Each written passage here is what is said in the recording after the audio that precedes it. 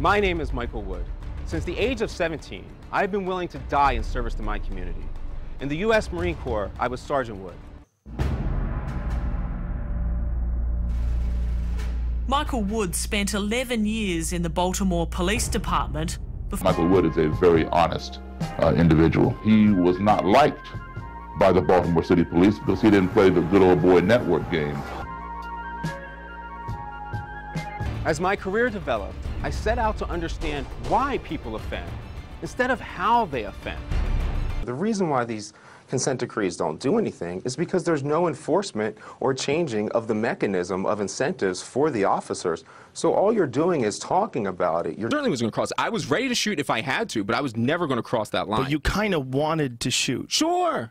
Get what you inspect, not what you expect. Mm -hmm. So, or anywhere that's populated, is your metric is based off of arrest. So you don't actually go out and engage with the community because that would be time that you could be getting the arrest that you're expected to get to prove that you're a decent officer. So you actually don't have any incentive to communicate. Michael, we should be looking for goals to not have people end up in the criminal justice system. Instead, every solution we have is to push them into the criminal justice system. It should not be up to Jeff Sessions to determine how Baltimore Police Department operates. It should be up to the residents of Baltimore. Jeff Sessions doesn't know anything about policing, never has and never will. I want to read a quote uh, that you gave the Washington Post, which struck me. You said, when you work in policing, you're inundated early on with the us versus them mentality. It's ingrained in you that this is a war and if someone isn't wearing a uniform, they're the enemy. It just becomes part of who you are, of how you do your job trying to say is, is that we are looking at people who are doing nothing new, and if we focus on the actions, then we can fix the things for next time. Because when you focus on people, we end up thinking we can chop the head off, they put a new person in, and something will change. But if we don't focus on the methodologies look, and look, the institutions, then we will be put them totally in, a, in a prison cell, do the paperwork, go back out, and do it again. So what we really need is to change the incentives and disincentives so that no matter what the role, we're still going towards that objective that actually more serves occupation, more vehicles. If your answer continues to be violent, because we have to understand that everything about policing is inherently violent. I have come in there with authority and told you what you will do. Welcome to Changing Minds. My guest today is Dr. Michael Wood. Dr. Wood started his career as patrolman Michael Wood on the streets of Baltimore as an officer with the Baltimore City Police Department. He worked his way up to detective and later to the supervisory position of a sergeant. He has since earned his doctorate degree in organizational management and works as a consultant in restructuring police departments, improving police and community relations. Dr. Wood, welcome to the show. Thanks for having me, Daryl. I appreciate such a formal introduction. It is my pleasure, truly my pleasure. And I am truly looking forward to hearing your insights, as I'm sure all, all my listeners are. You know, with all the talk about defund the police, get rid of the police, you know, et cetera, et cetera. Um, I definitely want to hear want to hear your thoughts on all of it because we are in a quandary out here in, in society. And um, I've heard you speak before. In fact, I've spoken to you before back uh, shortly after you left the uh, Baltimore City Police Department. And you really impressed me back then with your ideas and um, and your and your vision, you know, for the future of, uh, of police work. So, but let's but let's go back and start uh, back to where your career began on the streets of Baltimore. What would, what got you into this to become a police officer? Was it a family thing? Your dad was a cop, granddaddy was a cop, and um, how did you how did you evolve? What did you see? What made you decide you need to, to take a different course of action with the police department? Yeah, I mean, historically, there is a lot of family involvement. There's usually some kind of influence in what leads you to be police. I, I, did a paper recently that's talking about how gangs and police have the same kind of historical backgrounds where they, they, they have like this family lineage, this code, this insiders kind of network. But I did not come from that. And maybe that's why I ended up kind of being labeled a whistleblower because I just didn't have that history my history really comes from being a silly child watching Knight Rider and watching cops on TV. I, I, always looked up to it as as something that could be good. I mean, uh, I mean, I am a male, and you know, certain of us males with our masculinity levels like to do something that's full of adventure, adrenaline rushes. But I felt like this was a big compromise. It was kind of the best of both worlds. I could be this kind of rambunctious male and still be able to contribute to society, do something that helps people you're looked up to. And this is kind of a prevailing theme uh, when you get into it with police in general. One of the one of the things that policing does is it takes people from low class and it gives them the power and influence of upper to middle class, the way the laws apply to the upper and middle class. So you do kind of become like this separate person from the rest of society and you elevate out of your lower class, even though the salary is not high in big cities, you are talking about a climb from, from poverty into at least middle class. I came from Section 8 housing and wanted to, to break out of that. You have these aspirations to just, you, you kind of like, I don't think it's much different than some athletes. It's just a more practical pathway. Like, how do you get out? How do you how do you bust out of this thing? And policing is a way to bust out of the lower classes for sure. It always has been. That's why you have the Irish roots in a lot of policing because the Irish took on policing in mass to as their way to catapult themselves from the lower classes in the past. So when I watched all these TV shows and I just wanted to go do it, by time I was 17 years old, I was too, uh, I thought a little too rambunctious to be ready for college. So I went off into the Marine Corps to kill really, I was just killing four years until I could be a police somewhere and eventually decided to come back home to Baltimore, um, where I grew up in the suburbs of. And I mean, that's where policing was to me. That's that's where you went. That's where the danger was. That's where the excitement was. I wanted to go and help people, but I thought it was really great that I was also able to like fight people and chase guns and you know go car chases and stuff like that. So to me, it was a really good deal. I never have any regrets. Um, I think the part of it being such a good deal for me, may be a little problematic structurally. So um, I'm just not one of those people that came in with these high aspirations, thinking I was going to change the world or anything. I wanted to change a little bit, but yet, uh, you know, still go out there and have the fun and thrill and adventure of being a cop. Yeah, you know, I think all all boys at some point in their life growing up, you know, uh, being a police officer is one of the top five things. You know, we all want to be president of the United States. We want to be a policeman, want to be a fireman, want to be an astronaut, or we want to be whatever our father was. So policeman is definitely, you know, in that in that top five. And uh, for for most for most kids, and then as we get a little older, you know, depending upon what color you are, sometimes that changes. Because I remember, you know, when I was a kid, you know, all, you know, we'd call him officer friendly, right? Officer, you know, whoever he was. You know, he'd come to our school and talk about this, that, and the other, and let us wear his cap and maybe even take off his badge and pin it on one of us and that kind of thing. And, you know, we grew up uh, respecting uh, police officers. And then for some of us, uh, when we turned 16 and we got our driver's license, Officer Friendly was busting us uh, because of what we looked like or we were driving in the wrong neighborhood. And while Officer Friendly treated us all equally in, uh, in elementary school when he came to visit, it was a whole different story now that we're teenagers out there driving. We look different, we don't fit the neighborhood or whatever. Did you see a lot of that coming up, you know, with your fellow officers? Now, I think this is a confusing thing that you don't often see. I think this is this is generally something that comes from the perspective of the other side. You have to be subjected to state the state authority of policing to see that. Um, I think from the cops role, especially, I mean, I come from Baltimore where the police department's 50% black and my police commissioner is black. My lieutenant's black. My mayor's black. My state's attorney's black. My president was black. My attorney general was black. Literally, my entire chain of command was black. And I was serving a black city. So I, ne- it, I had to step outside, and I didn't really step outside until I got into drug work, which, which comes a little bit later on. But one thing I, I want to point out that you said is when you get a little older as, as a black male, you you start the police start to look at you differently. Now, there's two things there. I think that officer friendly was always a lie.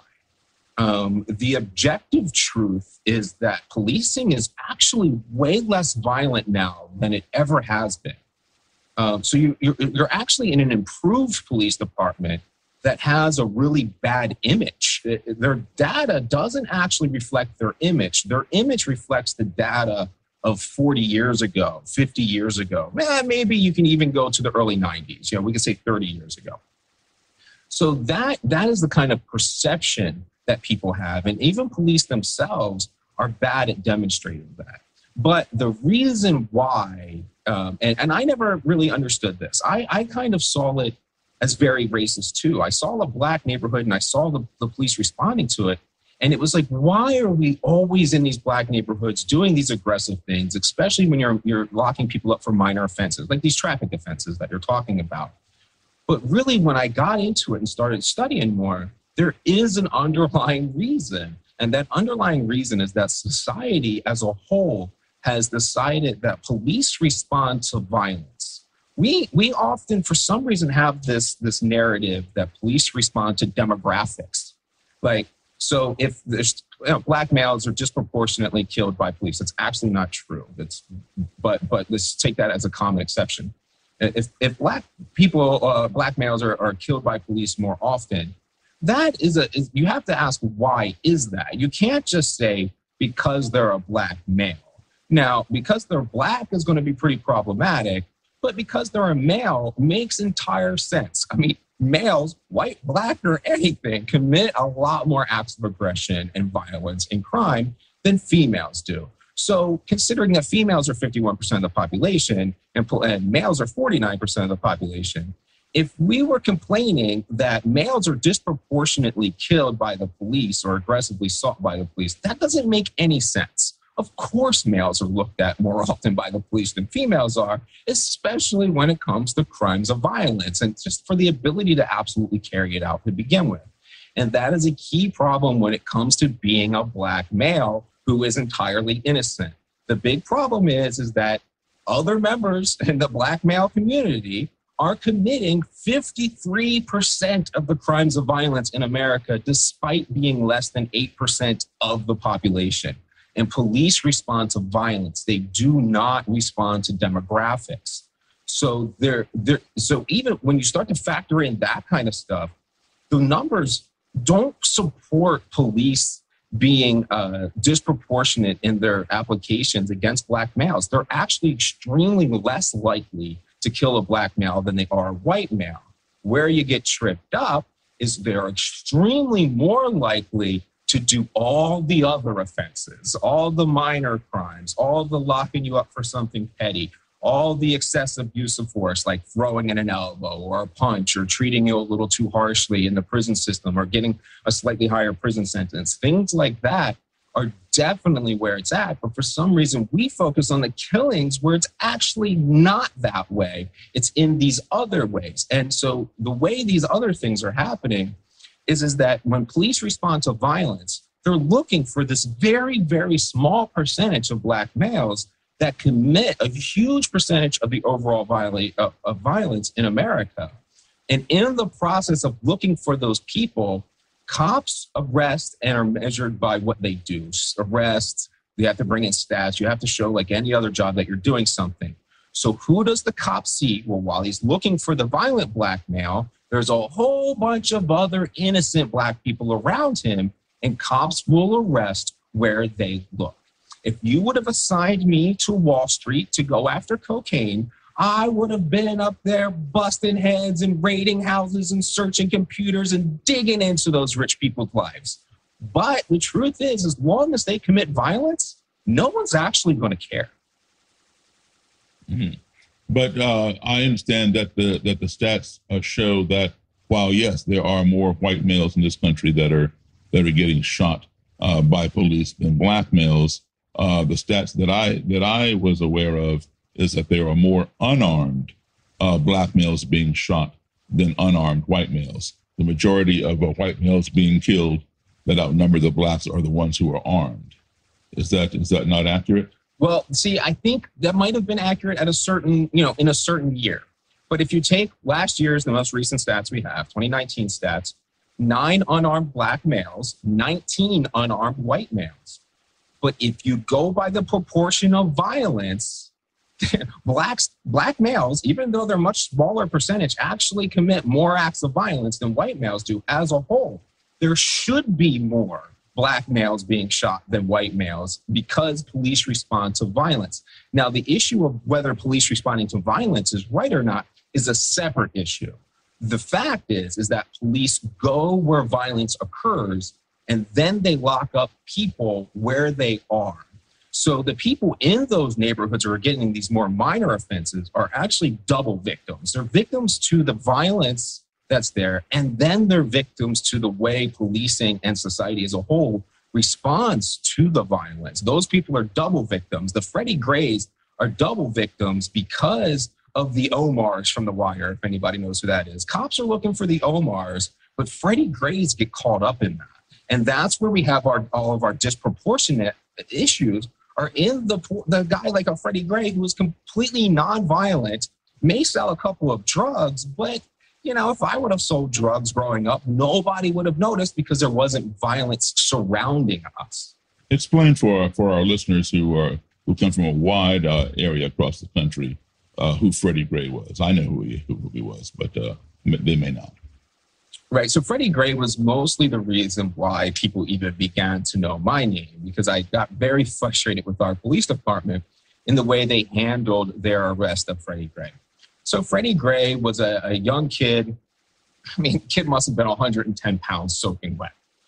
And he would sell drugs in the hood, um, right where I, I, came up. This was his neighborhood, where and where he he was arrested was literally the first place that I was as a police officer, walking foot in these projects called Gilmor Homes. They're they're like I mean they're the the lowest place that you can end up to uh, in in the country. Basically, you're talking about the most violent neighborhood in the country in one of the poorest and uh, section, not even like section eight. It's it's public housing. And he was selling drugs around there. Uh, the state's attorney, black state's attorney, black police commissioner, black lieutenant in the area, told the the officers to go and, and make more drug arrests in that neighborhood in the pursuit of those drug arrests, a lot of officers were placed in that neighborhood to look for anything because the theory is that drugs and violence are tied together.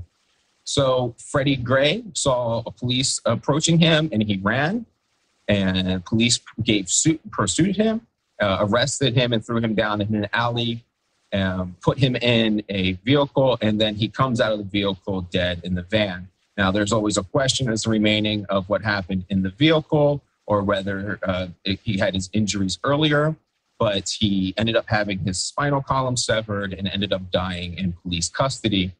Um, I think he died by the arresting officers dropping a knee on the back of his neck. I don't think it had anything to do with the van. But when he was killed, our police department, and this is in the midst of a, of a lot of media attention going on. And in this in this myth, we the, the Baltimore Police Department was just completely denying responsibility and the bottom line is, as a professional, when we take a human being into custody, that human being is just like having a newborn infant handed to you. You are 100% responsible for that individual's life. And the idea that the police department is trying to set responsibility in these areas where, I mean, man, we, it might have not even been police fault. Like, look into this. There's responsibility where you know you could have been talking about equipment, you could have been talking about training measures and things like that, but they just refused to look and introspect on what was happening, and that's why I had to say, hey, if you guys are going to lie about what we do in something like this, then I'm just going to start telling everybody the things that we do that you deny and act like we don't do. And so that's so opening my mouth about those things is how people even paid attention really to that conversation and a lot of what's happening in Baltimore. So, are, are you aware of the practice known as the rough ride? Yeah, of course. So, a rough ride, I've definitely seen uh, uh, and been tangentially related. I have seen it firsthand myself. To, to people who got rough rides. And a rough ride means you put the suspect in the back of a car where you don't handcuff them or something like that. And you drive around and you hit the brakes really hard, you accelerate really hard, and it knocks them around inside this confined metal metal cage. Now with Freddie Gray, I don't. Part of the reason why I don't think that happened is I don't think the evidence is there for it. And I really believe the, I know the officer who was driving the van, and I know people that are related to him, and that's just not who he is. But it is the people who arrested him. So, I mean, uh, and I, I, think what police do a lot is when they, they grab somebody, and they throw them on the ground and they drop a knee really hard on the back of their neck to pin them to the ground. That is a super common maneuver. So to me, what was most likely to have occurred that was what was most likely occurred. Chase him down, get mad, throw a knee in the back, uh, uh, knee in the back of his neck, and he ends up severing his spine that way. And who? How would the wagon man know when these people don't tell? You know, the officers that arrested him didn't tell anything. What What is the purpose behind the rough ride? Yeah, I mean that's kind of like a humble arrest. There's a thing if you watch The Wire. I, you know, always speaking about. The I, wire. I was on. I was on The Wire. Oh yeah, I didn't know that, and I've watched the whole thing. Now, yeah, I, I, I was. I was on. I was on two episodes. Amazing. So now I've, I've been telling my daughter now she's old enough to watch it. So now we're having to go through it again. But The Wire, um, for as far as East and West Baltimore are concerned, boy, The Wire is incredibly accurate. And you'll see things in there where they talk about arrest on the humble. And that means when somebody's getting a little lippy with you, I mean, I even had a saying that most people talk themselves into jail. They don't actually go to jail for what they did. They go to jail for how they respond when the officers ask them about what happened. Uh, but so there's things like that where you just rough up a suspect or you treat them poorly because the, usually it has has to do with a respect issue. Uh, I mean, maybe rough rides could happen to like a suspect, like during an interrogation where they're trying to intimidate them. But uh, like, I, I, think it's vastly more likely going to be sourced from uh, respect issues. Well, I, I, I, can assure you, I, I, I had a rough ride, and uh, and it was definitely race related.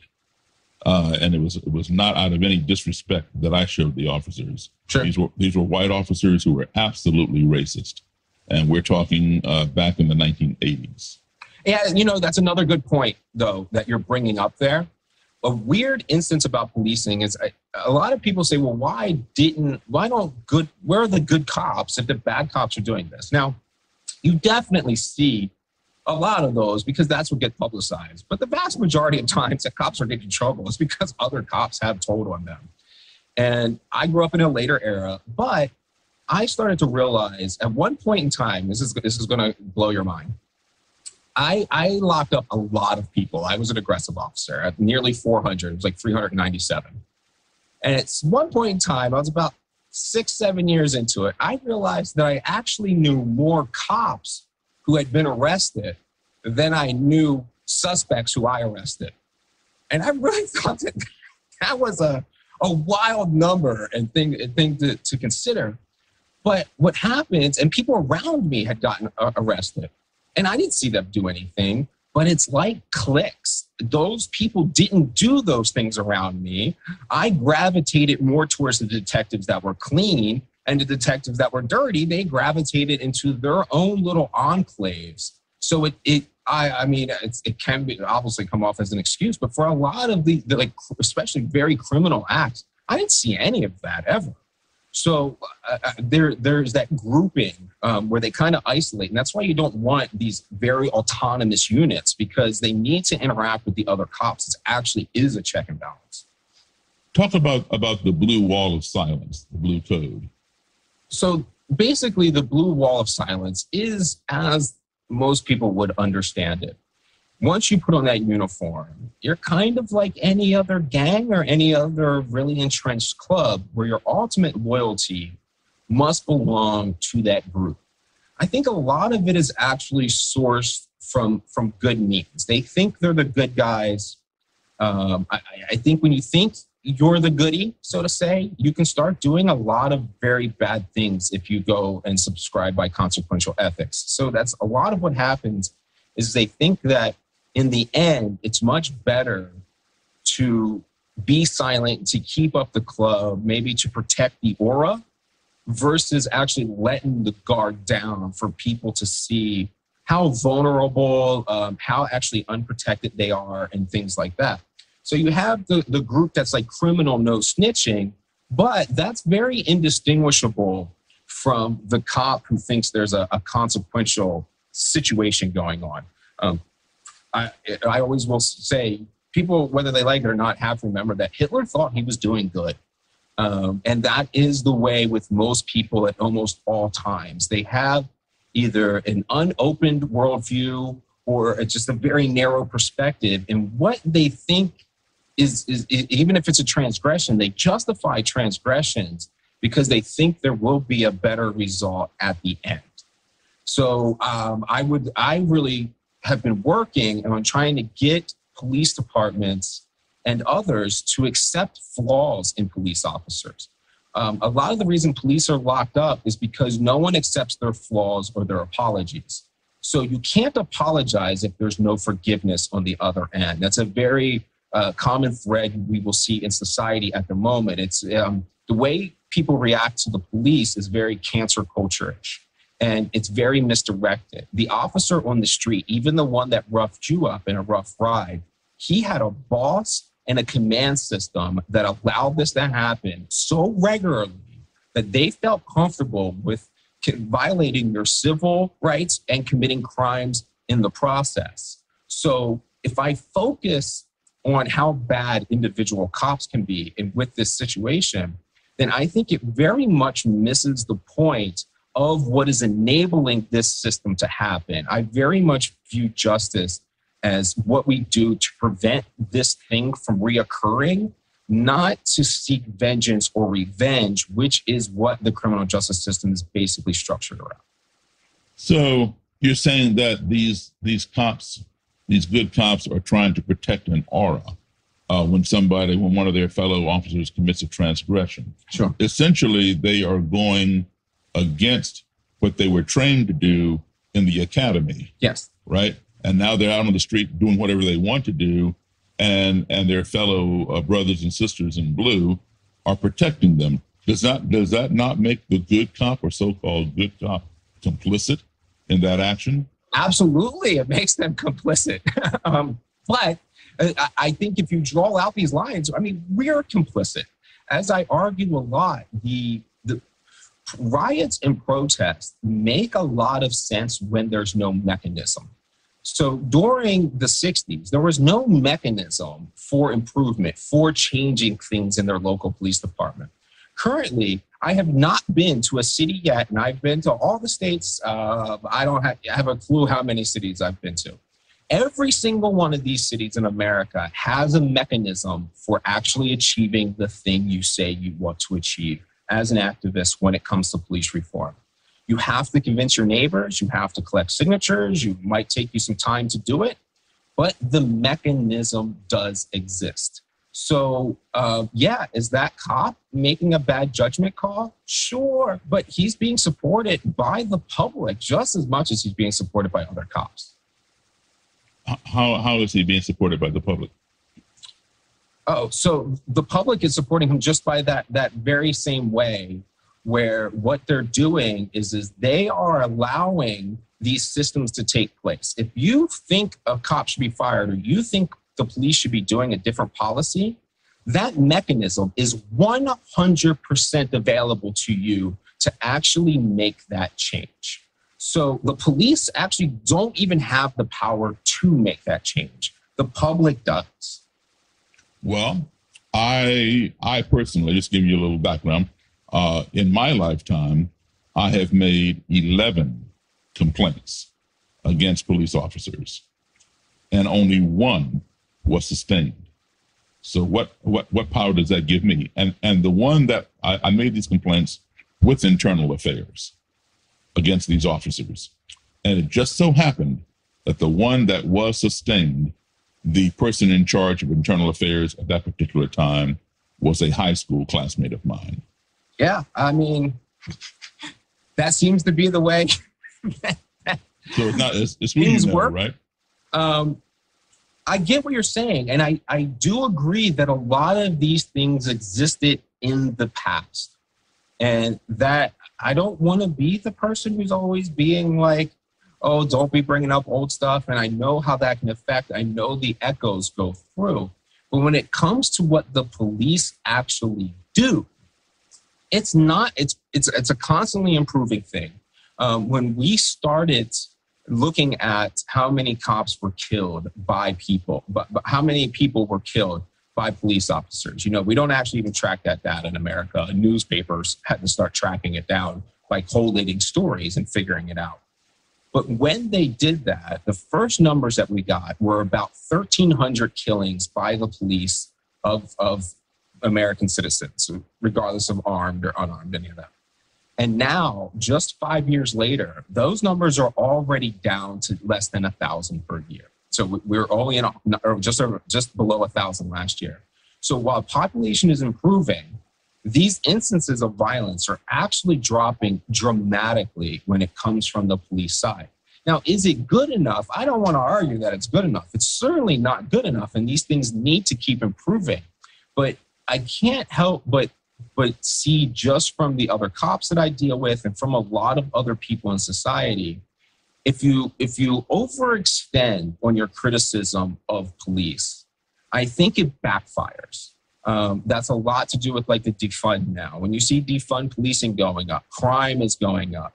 These things affect society in a certain way. These cities are having tons of problems. Their violence is off the charts compared to the. I mean, we have been on trends of incredible of, of violence dropping like mad in this country until just now in these last couple of years everything is going back up as this uh, as the movement turned away from reforming police to getting rid of police and breaking down that societal order that they provide. I'm not arguing that it's the best system. I am not arguing that uh, it doesn't need to be improved dramatically. That is what I'm talking about. But to pretend like policing is not a net benefit on society at this stage contradicts all available data. Would it be fair to say that, uh, you know, we, we often hear, or we always hear rather, about two categories of, uh, of police officers, you know, the good cops and the bad cops. But would it be fair to say that there are three categories perhaps?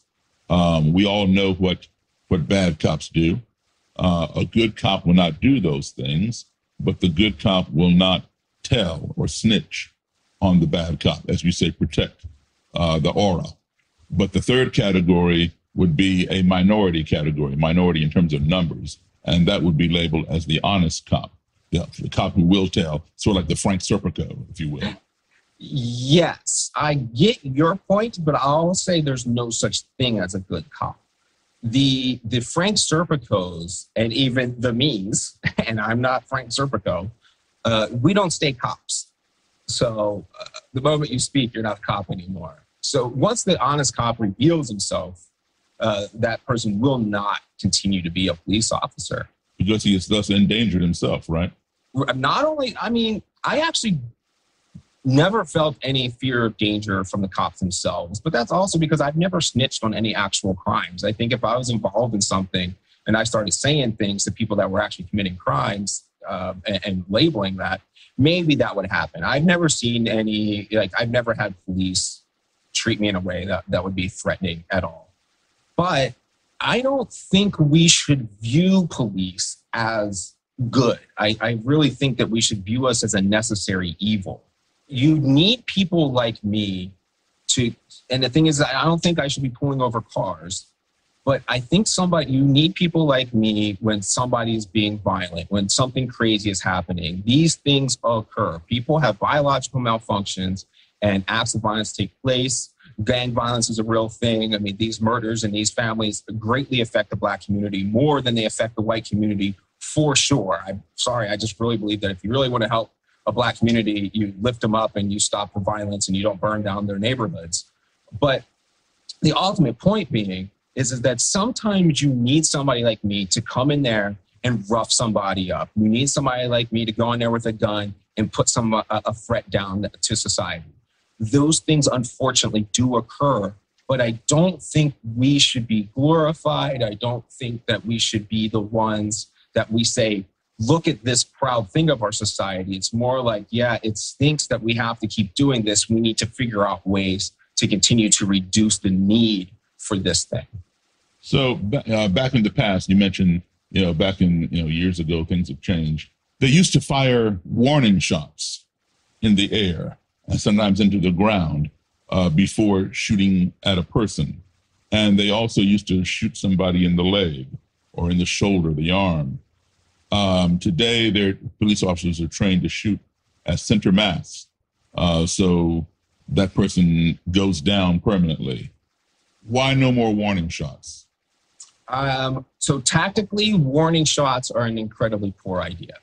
Shooting is not nearly that easy. I think the idea that that existed in the past, like shooting somebody in the leg, I think that person missed, and then they just said they tried to shoot him in the leg. I, I don't believe them. It, it, I am a highly trained marksman, an expert, uh, very elite in the Marine Corps, and I've been the best shooter in the history of the Baltimore Police Department. Verified. Go check with their academy. But the bottom line is, is I would not take that shot, and I think that shot is extremely dangerous. The not the, one of the primary safety rules is to know your backdrop, and especially when you're in a city, your backdrop is people's houses and other people. Bullets don't just stop where they are, and people just don't stop when they're shot. Uh, a motivated person gets shot multiple times and keeps going after their adversary the idea that shooting somebody in the leg is not a deadly shot is very wrong. Um, we, we, have two arteries in each of our legs that if you hit those, you're pretty much guaranteed to die. So there are no like safe shots. And the reason, the, the primary reason that you shoot center mass is because there are no shit safe shots. So you aim for the biggest target and you shoot to stop the threat because threats continue to come. Bullets are very small objects. It is not like TV. Bullets don't knock people over. Um, they're, they're just small pieces of metal being launched at somebody at a high rate of speed. It is not worth shooting up in the air. Bullets that go up do come down. Children have been killed in Baltimore on the 4th of July for people shooting bullets in the air. People have been killed in Baltimore by police who have shot warning shots into the air. Uh, Ed Gorwell is a case of that. If anyone wants to look up that case, he killed a young kid. Um, it was probably in the late 90s. And he killed him, a Baltimore police officer, firing a warning shot that was inaccurately shot. And that's just the way those things work. You set, you shoot center mass, and I can't imagine a professional shooter uh, arguing otherwise. Well, okay, let me play devil's advocate here. Okay, so so you're telling me that that the Baltimore City Police are just now discovering uh, Isaac Newton's law that, what goes up must come down, right? Um, you know, but hold on, hold on. So, you know, uh, I, I, I would venture to say, and I, and I think that you would, you know, that you would agree with me, that more innocent people have been killed by police officers for holding uh, their cell phone or their wallet or things like that, or shot in the back, than have been killed by bullets falling out of the sky from a warning shot. Agree. Okay, so why you know why why not fire the warning shot if if it if it may bring compliance to somebody? Yeah, you just simply don't shoot a weapon unless you intend to kill somebody. A handgun is not a warning device. it, it is a but weapon. It, it, it, was back in the day. Sure, you need to find a different warning device though. If you want to do a warning, it, it should not be a deadly weapon. Now let's uh, move over to say the White House. Very very few people. There have been many people who have attempted to breach the uh, the fence of the White House. Very few of them have ever died. They've been shot in the leg, in the hand, the arm. Uh, these also are marksmen, and they don't shoot at center mass, even though they would have every right to do so. After all, the president of the United States is their primary client to protect. Right, right. But Daryl, if you're talking about a sniper on a roof with a rifle round where his backdrop is grass, yeah, sure. No, I'm, I'm talking about, about people who, who come jumping over the jumping over the fence and the security right there on the side on the sidewalk. And even, even one guy even made it to the east wing of the White House, if you remember last year. But the reason being why they do that is because uh, if if you if you kill the guy, you have no idea is is he working alone or is he part of a of some kind of um, conspiracy or whatnot. Sure, they may try to do that when they have determined that it is safe enough.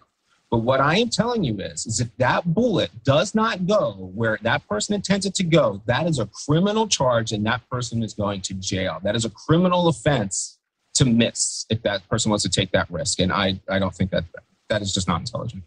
So, so what, when did they determine this? That, that now police officers should shoot to kill rather than than shoot to maim or or shoot up in the air to to bring compliance. Yeah, why, I mean, why wasn't that thought are- about before?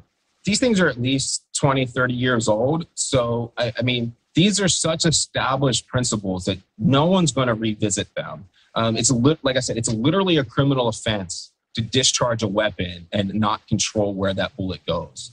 So, if a sniper is doing that or somebody is doing that at the White House, um, this is an extreme exception to the rule, and they shouldn't be doing it. And if that person gets close enough to actually being a threat, they will be killed for sure. Mhm. I mean, the idea that you're going to put a rifle round into somebody's leg isn't going to kill them. It's just it's just false. Well, we know that John Hinckley wasn't killed, right? Yeah, but there's I mean that's the thing. It's, it's so what you remember the people who were- are killed by the police are an extreme minority. Millions of interactions of potential deadly force occur for each time someone's actually killed. So for each time you want to point to somebody being killed by the police, there are 999,000 examples where it went the other way. We can't use anecdotes. Anecdotes are very I, I know I know they're they're emotionally satisfying, but especially for somebody that's me like me dealing with policies, I'm not interested in anecdotes. I'm not interested in feelings. I am interested only in what will give us the better societal results. So, so every time that you you know, uh, in the years that you were on the force, did there ever come a time when you pulled your weapon and did not fire? Oh, all the time. time. Yeah, very, very commonly did I pull my weapon and, and not fire. The only time uh, I came close to firing twice in my entire career, and I was a very aggressive and active officer. Most most police, uh, it's something like ninety eight percent of cops never even withdraw their weapon from their from their holster other than at the range. Mhm. And how often do do the uh, police officers train at the range? I don't think anyone ever wants to know those answers, Daryl. So, so um, I trained for the range, absolutely zero. I imagine most officers train absolutely zero. Uh, they go to the academy, they're taught once, and then we have to qualify once a year. The standard is so low that the training I got in the Marine Corps is far sufficient for me to be able to pass that test for the rest of my life without ever practicing. Um, So you became a, an expert sharpshooter or marksman in the Marine Corps, not in the in the BCPD. oh God, no! No one has ever become a marksman in the police department. that, is, that has never occurred. These these people are. You are lucky if the common cop could hit a target. Yeah, I, I, that's why I think. I think the idea of that cops are even physically skilled the way you're kind of painting the picture is just not true. It's an extreme minority of people who can even respond intellectually and with critical thought when they're in a situation like that. These are very traumatic situations for the cop. To think that killing somebody, the trauma ends in the, in the, the by the victim is just wrong. I mean, uh, even murderers suffer uh, trauma from from their events that that occurred. So uh, these the idea that a cop can coolly place a shot or to even think logically or, or to think even in reality is just not true. I mean, when Betty Shelby killed Terence McCrutcher and she thought he was reaching into a vehicle, she thought he was large like a demon. She's probably not lying. That's literally what she saw. The vision, vision is an illusion. Uh, we are affected by these influences, and we have to be open about those influences. One reason why uh, you have this this history of, of people in general being more aggressive against black males is we've sown into our society this idea that they were more dangerous and that has manifested it in study study after study after study will show how that has manifested in people literally seeing black people as bigger and stronger than they are Uh, that came out uh, also in uh, the Rodney King uh, incident Sure. with the four cops. But you know, I don't know that I buy that because that's not a reality. You know, black people are no are no bigger or, or any stronger than anybody else. All right, so let me just throw this to you, Daryl. Human beings are programmed genetically to not be able to understand reality. That's literally what evolution is. If we had explored reality, so say you're a caveman back in the day and there's a bush ruffling in the field. If you go and figure out, is there a tiger behind that bush? You die because you found out reality. Now, if you just avoid that that bush and never check out reality and imagine it is whatever you want it to imagine it is, eventually that's how you see the world, how you imagine it, it how you imagined it, and you avoid reality. The human being is completely incapable of observing reality. So I, I'm not I'm not following you. How does that apply to to black males? because it doesn't matter what they are in objective reality. A threat, a threat existing in objective reality is very irrelevant for the person who is responding. They are not seeing objective reality. No human being sees objective reality. So so why is the black male a larger threat threat than the white male? Well, objectively, they are a larger threat. So you have something like that that is true. Again, this is this is a minority of the population committing the majority of violence in America. So there is an objective truth to that. A female walking down the street at two o'clock in the morning is not crazy to cross the street when a group of males are, are approaching her. Those those numbers are very clear. Um, so she'd be crazy if she was crossing the street because there was you know two So- little boys. So essentially, what you're telling me is that cops do uh, engage in racial profiling, and wh- whether it's right or wrong. No, that's implicit bias. Oh no, because I mean, if you if you're saying that that you know 53 percent of of whatever uh, black males commit these crimes and they are more violent and dangerous, than I go walking down the street at two o'clock in the morning because I'm a musician. I'm all, I'm getting off Yeah, a gig. yeah. Okay, so now cops are looking at me as being potentially violent and dangerous, where where Yes. whereby they might not look at my white guitar player the same way. Right. True. So so is that, is that not profiling? It, it, I mean, to a certain extent, yeah, but it's not. Well, to the extent of my life being in danger, it is.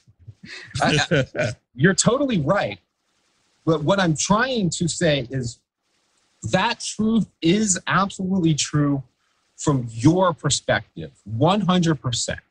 But we have to open the door for understanding the perspective that is that is getting that to occur. If police are supposed to be looking for people who are violent, again, I mean, I had to yell at my officers and I get how it sounds, but if you're going around in Baltimore and we're trying to stop violence and you're pulling over cars of 80 year old white women, I am not interested in you being a police officer that works for me. Mhm. Okay, so I mean, I, it's just honest. you okay, know? so so so you pointed out, you know, my perspective is my understanding is my reality. Okay, I get that. So now help me to understand this. Eric Garner up in Staten Island, New York, Mm-hmm. the original I Can't Breathe guy, right? He's uh he's selling loose cigarettes on the sidewalk. Uh, we don't actually have evidence of that, but that's the allegedness, yes. Okay, I see allegedness. Uh, and, and and let's stipulate that he was. Okay. Okay, so he he's breaking the law. Should he be arrested? Sure. Should he be cited? Sure. Uh, should he be killed for it? No. All right. He, right. Should he be arrested for selling loose cigarettes? Uh, I don't even know if I'll go that far, but If uh, selling tobacco uh, without a license is against the law, then sure. I, I I don't have an issue with that. yeah, I just know that there's no white kids getting arrested in a in their Right. There are no white kids getting arrested for selling loose cigarettes. That's all I'm saying. I don't know if that should be a Well, that, that's part of my point. But um, so he he's pounced on by several police officers, choked to death on camera, and and and the cops are exonerated of it. No, no violent crime committed. He did not offer resist uh, resistance. All he says, was, "I can't breathe." They passively okay. resisted, but Now you give um, George Floyd, who who who allegedly is passing a fake twenty dollar bill. We don't know that that, that twenty dollar bill was fake. We don't know whether uh, if it was fake. We don't know that he knew it was fake. He may have gotten change from somewhere, you know. But whatever, it's not a violent crime, and yet he is choked to death again, you know, on on the sidewalk, on the street, or whatever. Uh, both Eric Garner and uh, George Floyd are black, of course. Then we take a look at somebody like uh, Dylann Roof, uh, the young white supremacist who walks into a black church in Charleston, South Carolina, armed to the teeth with extra ammunition, and mows down nine black um, people conducting Bible study. And when he is arrested, uh, instead of pouncing on him and, and body slamming him whatever else, we see the, the footage of them gently pushing his head down and putting him in the car and pulling the seatbelt across him. And he says he's hungry. and the cops take him to Burger King and buy him a hamburger before taking him to jail to fingerprint and uh, photograph and process him. So help me understand that. Yeah, sure. I mean, I think we're we will be uh, falsely attributing too much knowledge about those incidences to make these judgments. I am not cool with any of these anecdotal conversations because the numbers are very clear. These things happened to at least twice as many white people.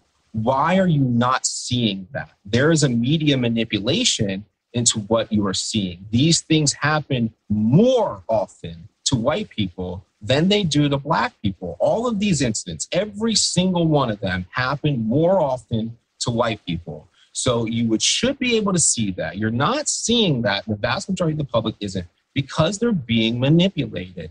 Eric Garner should have never been arrested, of course, but he did passively resist. And the standards in New York are what they are. Those are the rules and the policies that the people of New York City could change if they cared enough to. So the, the I get that he died and I get that the cops were let off. But if you train the cops to do something and they're being told to do something, uh, theoretically by the community, yeah, we can talk about how separate how, how severed that tie is. But legally, you're not going to get, a conviction on somebody when they followed what they were told to do. Now, you can't just say, oh, they died, so that's they didn't do what they were told to do. That's just not true. George Floyd, when he died, for one, the coroner doesn't say that he was choked to death. And for two, the police officer's training manual has that exact position diagrammed on it. That's what those cops were trained to do. So, do you arrest Derek Chauvin for that? No, you arrest the people who trained the entire police department to do this you're it's it's missing the forest for the trees in policing to ever think about the individual. I I would have to disagree with that because I mean the man was lying down. The man was unable to breathe. Everybody on the sidewalk saw that, and Derek Chauvin st- uh, kneeled on that man's neck long enough for him to die, intentionally to kill him. Yeah, that's just not true. I mean, you can't say that. Well, well, you can't say that that, that, that it is true. You can't say that it's not true.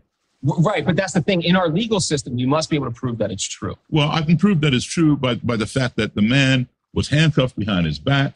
He had he had two other officers besides Chauvin sitting on him, one on his back, one on his legs. The other guy is standing on the sidewalk holding the passersby from getting too close. For eight minutes, the man wasn't moving. Why not just pick him up, throw him, throw him in the car? Yeah, and I can say that. But then you got to remember that he was in the car. I, I mean, Daryl, I don't want to call you out too badly, but I know you haven't no, watched call the me body out. cam call footage of that incident. Call me out. Uh, I'm, I'm just saying, I know you haven't watched the body cam footage because it shows the entire thing happening. He's the one that asked to be put on the ground. He's the one that put the fentanyl in his mouth. Uh, we can't, we we just can't be looking at that individual officer like they did this thing all on their own when they're following procedures. That's the procedure that the officer was taught. I know you disagree with the procedure. I disagree with the procedure, but that's irrelevant. That community decided and allowed for that to be the procedure that they've changed all that they've done with everybody. So to get rid of that officer and put another officer in, if the officer follows the rules, they're going to do the same damn thing over again. No, I don't believe uh, he was following the rules. It's not, it's Daryl, it's not for your opinion. This is in their training manual. It's objective truth. I I I, I totally disagree. I'll, I'll send you the training manual that shows it. Okay, but but uh, number number one, Derek Chauvin had 18 complaints against him in a 19 year career on the Minneapolis uh, City Police. Daryl, we don't want to bring up the records of a criminal suspect when you you brought him out and tarnish him that way. You can't look at the big picture when it comes to those things. You can't. Well, sure you can. I mean, it's, it's like this. You know, when you go to apply for a job, what do you what do you present?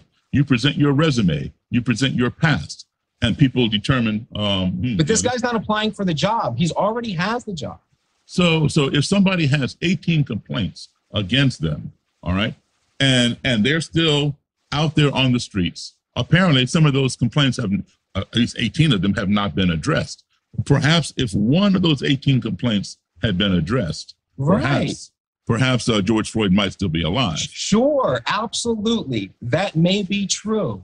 but who is in, who is the community and the police department are condoning this. You can't say there's no such. I mean, we can't. No, have the, the community, conversation. the community is not condoning it because the community has no idea this officer has 18 complaints. We don't have access to his personnel file. The police do. We don't Right, know that. I didn't know that for- until I saw it on the news, right? Neither did you. Yeah, but they're they are. Are you are you denying that they're voting for the mayor that's making the police decisions? They're not voting for their citizens to be murdered like this. Absolutely, they are. No, they're not. No. Yeah, How do you they are. that? Yeah, I mean, we okay. So when this whole movement started, Daryl, this wait, which which movement? Black Lives Matter.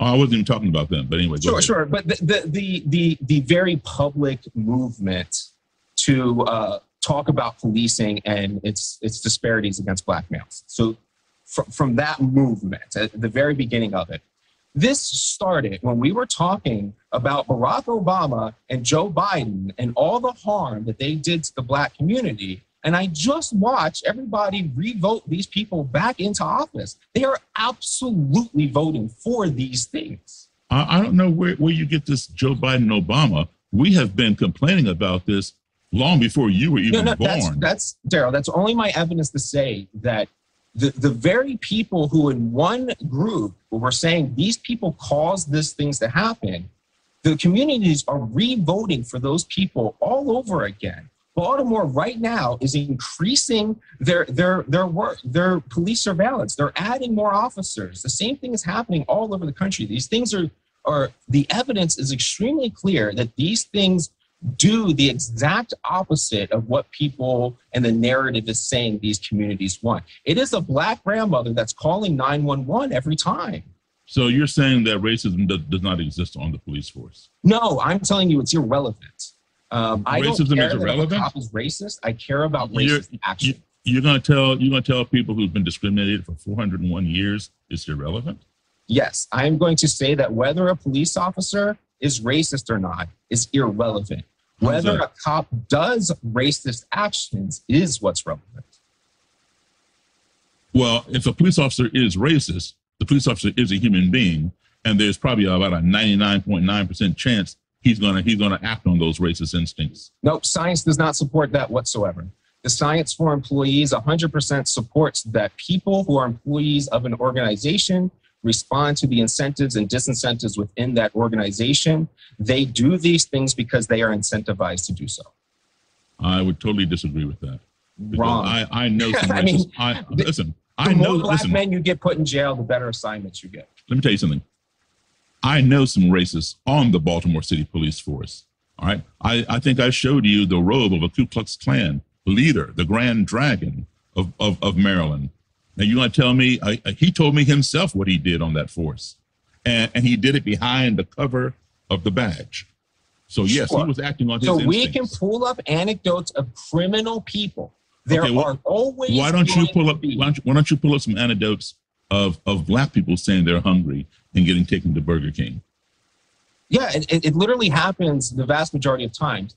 So you you got to remember the inverse of that is that remember more as we are arguing, more black males are sent to prison, more black males commit violence. These are just objective truths. And all and the vast majority of those people make it to prison completely unharmed. I mean, 99.99999%. Do they get to go to Burger King? Absolutely. Have you ever taken anybody to Burger King? Absolutely. Yeah. Well, It's I- I- common practice. You want to build rapport. The first rule. you want to build rapport good- with somebody who just murdered nine people? Of course, you want to shoot somebody in the leg that's going after the president. It's the same philosophy. I think you're being. I- just think you're being blinded to that. Your ideas being uh, shifted over to maybe benefit someone you're not agreeing with is a violation of your principles. I, I'm. I, these are the. We're this, we're aligned on our principles. It, it, it. I just. I don't see you applying it to who you're viewing as your enemy. So racial profiling does not uh, exist in police departments. Is- is Uh, I mean, of course it does. How we just talked about how you know a black male being in, in there is profiling, but you got to remember that a white person in a black neighborhood is also racially profiled. Right, be- because of the history. No, Because of the police. No, no, because No, no, no. you know, you're, you're you're wrong there because you know what? uh, your observations and your opinions cannot possibly outweigh my experiences. I'm not giving you that. I'm giving you the overall big picture. I'm not giving you my personal experiences. Okay, because you know, if you were to ask 10 of your male non-police friends, 10 of your white male non-police friends, just pose this question to them. You know, uh, you're coming home late at night, you know, you're working late shift or whatever, or a hot date, whatever. You're coming home two o'clock in the morning and you're by yourself and you see those lights going in your rearview mirror. You're being pulled over one, for one reason or another. Maybe you were speeding, maybe you weren't. Maybe you were waiting. Who knows? You're being pulled over. You ask 10 of those guys, white guys, what's the first thing that goes through your mind?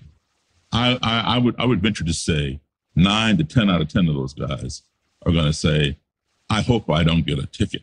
I hope I don't get points on my license. I hope my insurance doesn't go up.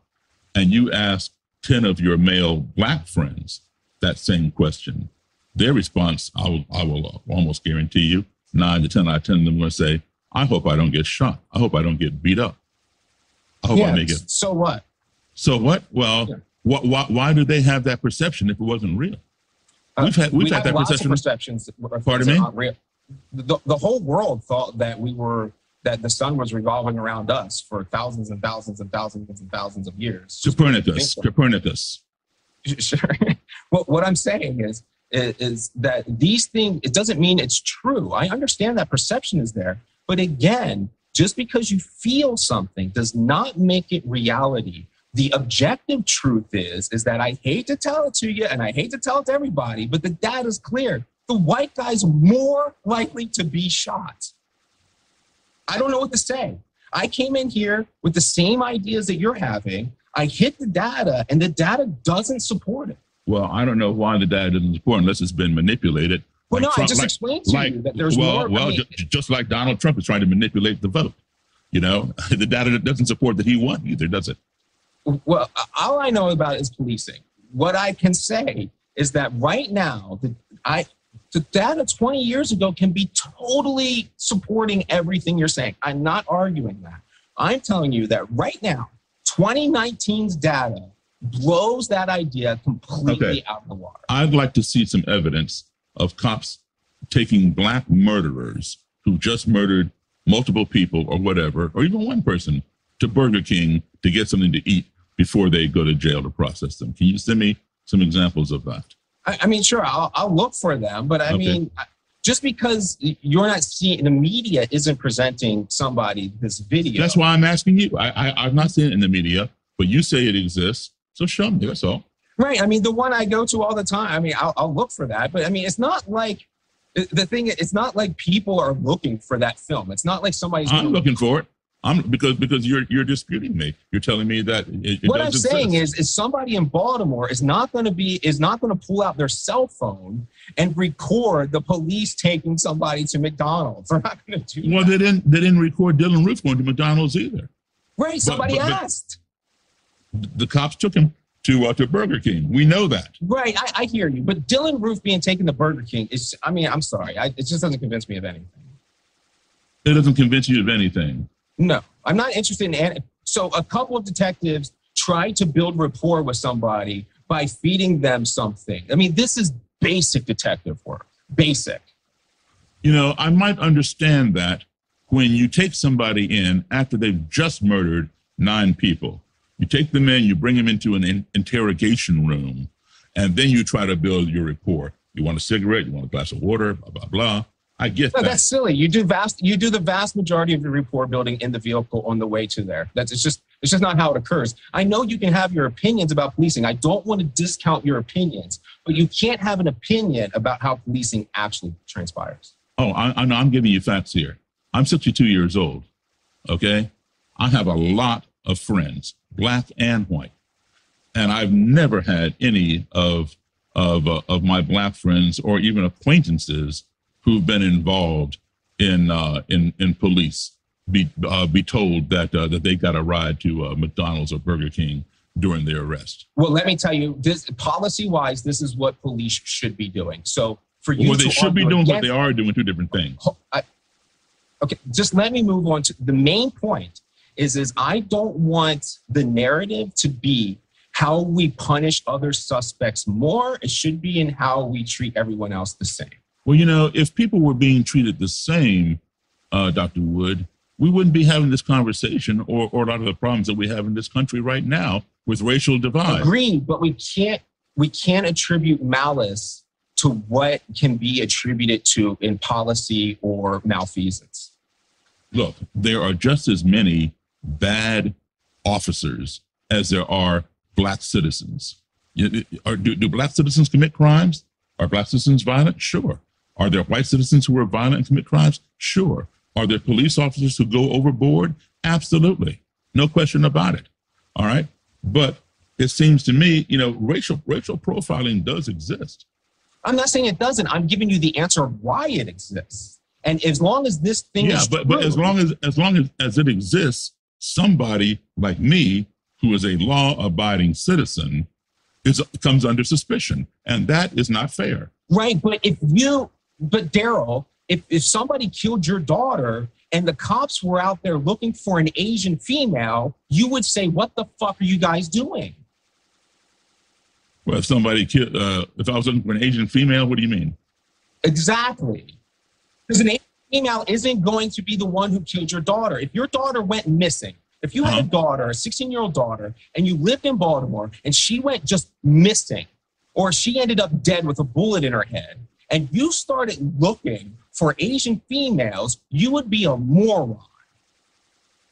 Well, if I had reason to believe in Asian female, I understand, but if you're just searching with a net, if you don't know anything, if I don't know anything, I, then everybody is suspect.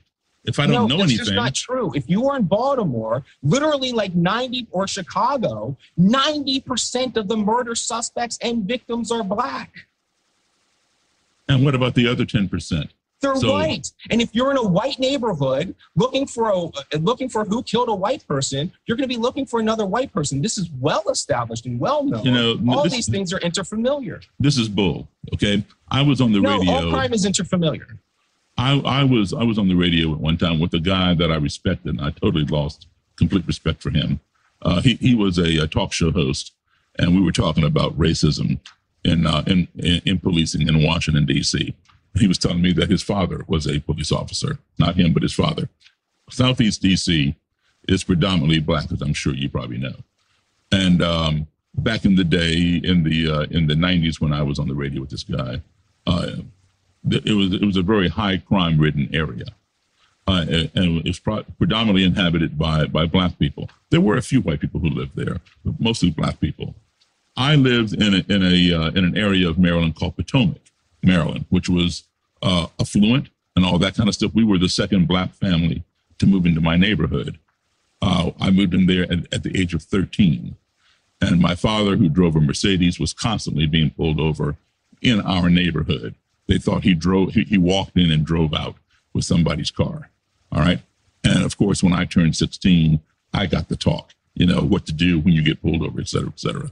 Sure enough, when I turned 16, I was getting pulled over in my own neighborhood because uh, the white cops thought I walked in and drove out with somebody's You think vehicle. I didn't get pulled over in my own neighborhood? I don't know whether you did or not. Of course okay, but, but but I can tell you one thing: my white friends that I went to high school with didn't get pulled over unless they were doing something stupid. drivers than you. Pardon me. Maybe they were better drivers. You have to eliminate. Well, again, so you know, first again, you you you are offering your opinions, okay, and your opinions do not outweigh my experiences. You you got to understand that. I'm not saying they do, but if your question is is why these things are occurring, Well, no, I, I- know why they're occurring because I'm black in a white neighborhood. I don't fit the profile of the neighborhood. That is racial profiling. Okay, Of now, course. now, now let's go back to Southeast. but but hold on. Southeast. Yeah. Daryl, police look for what is out of place. So I'm out of place in my own neighborhood. No, you're out of place in a white neighborhood. Yup. Why am I out of place there if I can afford Because to you don't look like everybody else. These are the So I, I have to look. people- th- Daryl, this is what this is supposed to Daryl, be. Daryl, hold on, hold on, please, Daryl. I'm not justifying it. I am explaining it. But you're explaining it from basically what you're telling me is cops are too stupid to look. yeah, I that's, have been making this argument from the very beginning that cops are stupid. I mean, I, we're not disagreeing on this. I'm trying to explain to you why these things occur. And you can't not finish the sentence. It isn't because you're a black male, it's because you are part of a group that commits the vast majority of crime incredibly disproportionately. Okay, so so Ted Bundy's son should always be suspect because his father was a serial killer. Is that what you're saying? No, will people Sure do you are. that? Probably. I, again, again, Daryl, I am not justifying. I am explaining, and you will not get the world to change their opinion. Okay, so as long, hold on, as long as the condition exists that black males, eight percent of the population, commit fifty-three percent of the violence. This will always be the case. And it's not white people doing this. You've got to understand this. Black people feel the exact same way. About what? Black people. So so you're so you're saying that uh, you're saying black on black crime exists. Uh, that's indisputable. It's like 92% of black victimhood is from a black suspect. It's not black on black crime. It's, it's crime of proximity. Of, of course, Okay. that's why I say interfamiliar. That's why. I, so it's okay, actually more. It's but why don't we hear the term white on white crime? Uh, I, I mean, you do. Just nobody cares what happens to white people in this country. I've never heard the term white on white crime until I just said it. I mean, I hear it all the time when I when, in the circles that I'm in. I hear it all the time. But what I'm telling you is, is you're not going to hear this because people and the media don't care what happens to white people. Uh, they, they they care that they don't shoot them. They care that they take them No, they Burger don't. King. I just explained this to you. The data is clear. Okay. White people are killed disproportionately more than black people are. But the stats, since you're in the stats, look it up.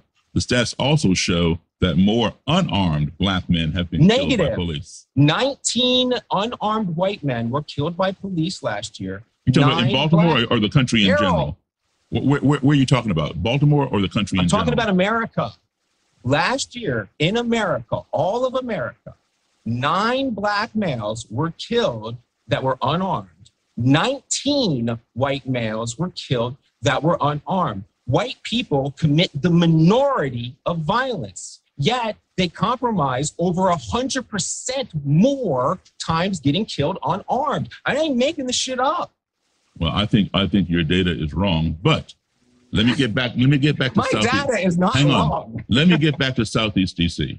Okay, so I'm talking to this to this uh, talk show host, and I was telling him what I just told you about driving around in Potomac in my own neighborhood and getting pulled over, and he told me that uh, his father was a cop, and, and had he been a cop, he said if I was driving around, he's a white guy. If I was driving around Southeast and I saw a white guy coming into the in, in- into the neighborhood, I'd pull him over. And I said, why would you do that? He said, well, I figured he's probably over here, over there trying to buy drugs. Yep. So now, so you agree with him? Yeah, that's what happens. I'm telling you, that's what happens. so, I all, so if I saw hold a on, hold on, person, hold on, hold on, hold on. Daryl, just let hold me on. tell you, No, no, I- let, I let, let me finish. cop. Let me mean- finish. Let me finish. I just listened to you go on your tirade. Now let me go on mine. All right. So, so you agree with this with this with this moron because you're telling me essentially that a white guy going into a predominantly black area, okay, he may be out of place. He must be over there trying to buy drugs. So essentially, what you're telling me is that that all black neighborhoods, all they do over there is sell drugs. Maybe he's going over there to see his black girlfriend. Does that does that dawn on you? Maybe maybe you know there's a white.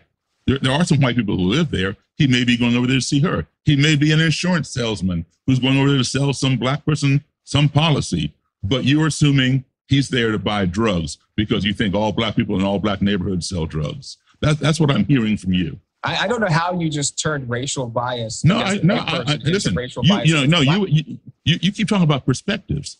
That's your perspective. You know, if if if I if I go in, into an What all white perspective, hold Daryl? on, I'm hold on, telling you what hold on, cops hold on. do. Okay, hold on. If I okay, you, you look at me, you see a black man. Okay, I drive into an all white. Don't white. tell me what I do. Okay, I'm not telling you what you do. I'm, Okay. I'm asking you what do you do. Okay, I'm a black guy. I drive into an all white neighborhood. What is your assumption? You don't know me. I- I you, mean- you'll see me. Looking at you, I have no assumptions. Okay, so what are the cops' assumptions? They see me, I mean, if you're a 16 to 24 year old black male and you're in my neighborhood, yeah, I'm going to look at you twice. and, and and what are you thinking? I mean, you're a grown you're a grown man. You, you, the odds of you committing a crime of violence are extremely low. Okay, so I'm a 16, 23 year old black man. What what are you thinking? What, what why am I in that white neighborhood? What are you thinking? Am I, I there mean, to, I have am. I, am, I, am I there to rape white women? Am I there to rob no, their I mean, homes? don't- please don't do that to me. You're, No, you're- I, I'm just asking because you know uh, when when I said to But- you, but you're not asking. Hold, hold on, hold on. All I said was what this what this uh, talk show host uh, said that he would suspect that this white guy into a black neighborhood is there to buy drugs. Before I even asked you anything, you said yep. You just jumped right in and said yep. Okay, I- I- so yes, so so no, so, so, you're gonna you're gonna pass. Hold on, you're gonna pass judgment on a black neighborhood, but you won't pass judgment on a white neighborhood. Why is that? I don't understand the judgment. So, police look for things that are out of place. Okay, we understand that. So, um, a white kid that is driving a car that clearly looks like they're from the county, um, who is in a neighborhood that should reasonably scare them, um, yet they are there. I'm going to think if you're in West Baltimore, that you're up to no good. Now, if are you in, are you a white kid driving in Prince George's County? No, I don't. I, I don't care about that. That's why I say you being in my neighborhood, I don't care about that. But if you are in, in, in the hood of East or West Baltimore, sitting on the corner all day long, are you doing something illegal? No, but people are going to think, hey, maybe this dude's a street lieutenant. Of course they are. That's what police do. Just because your attention has been drawn doesn't mean you're being violated. Police attention and all training needs to go towards that which is out of place. That's literally how you protect a neighborhood. How can I protect a neighborhood other than looking for what doesn't belong in that neighborhood? Okay, great. So a black guy sitting on his stoop, young young black guy sitting on his stoop for several hours or whatever, he he may be looked at as a, as a street lieutenant. What what does a white guy look like sitting on his stoop for several hours? Where is he? Uh, in, I guess in Is he in West. Baltimore? Is he in Hampden? Is he in Okay, well, okay. fir- first of all, I don't, I don't live in Baltimore. The only time I ever go to Baltimore is when I have to play there. So we, we say West Baltimore, Pigtown, uh, none of those mean anything to me. Sure. So we have in Baltimore, we have area called Hampden and an area called uh, Pigtown, which are majority white, um, high crime areas, and they are treated exactly like like the black neighborhoods are. Okay, so so then a white a white guy. Now, I, I, um, um, West Baltimore is, is predominantly black, though, right? Right. Right. Okay, so a white a white guy sitting on a stoop in Pigtown for several hours, he would he might be looked at as as a street lieutenant. Yeah. you telling me? So he's looked at the same way as a black guy is. Yep. Okay. All right. I'm, I'm just making sure that that uh, that there's equity here, there's equality in, in how and how and how you're profiling these people. I'm not saying that. No, I'm not saying you. I'm just you- saying police in general. I'm not claiming that any of these things are are what is good for society. I'm not claiming that anything these things are the right moves. What I'm telling you is is that human beings operate based upon their DNA and their experiences.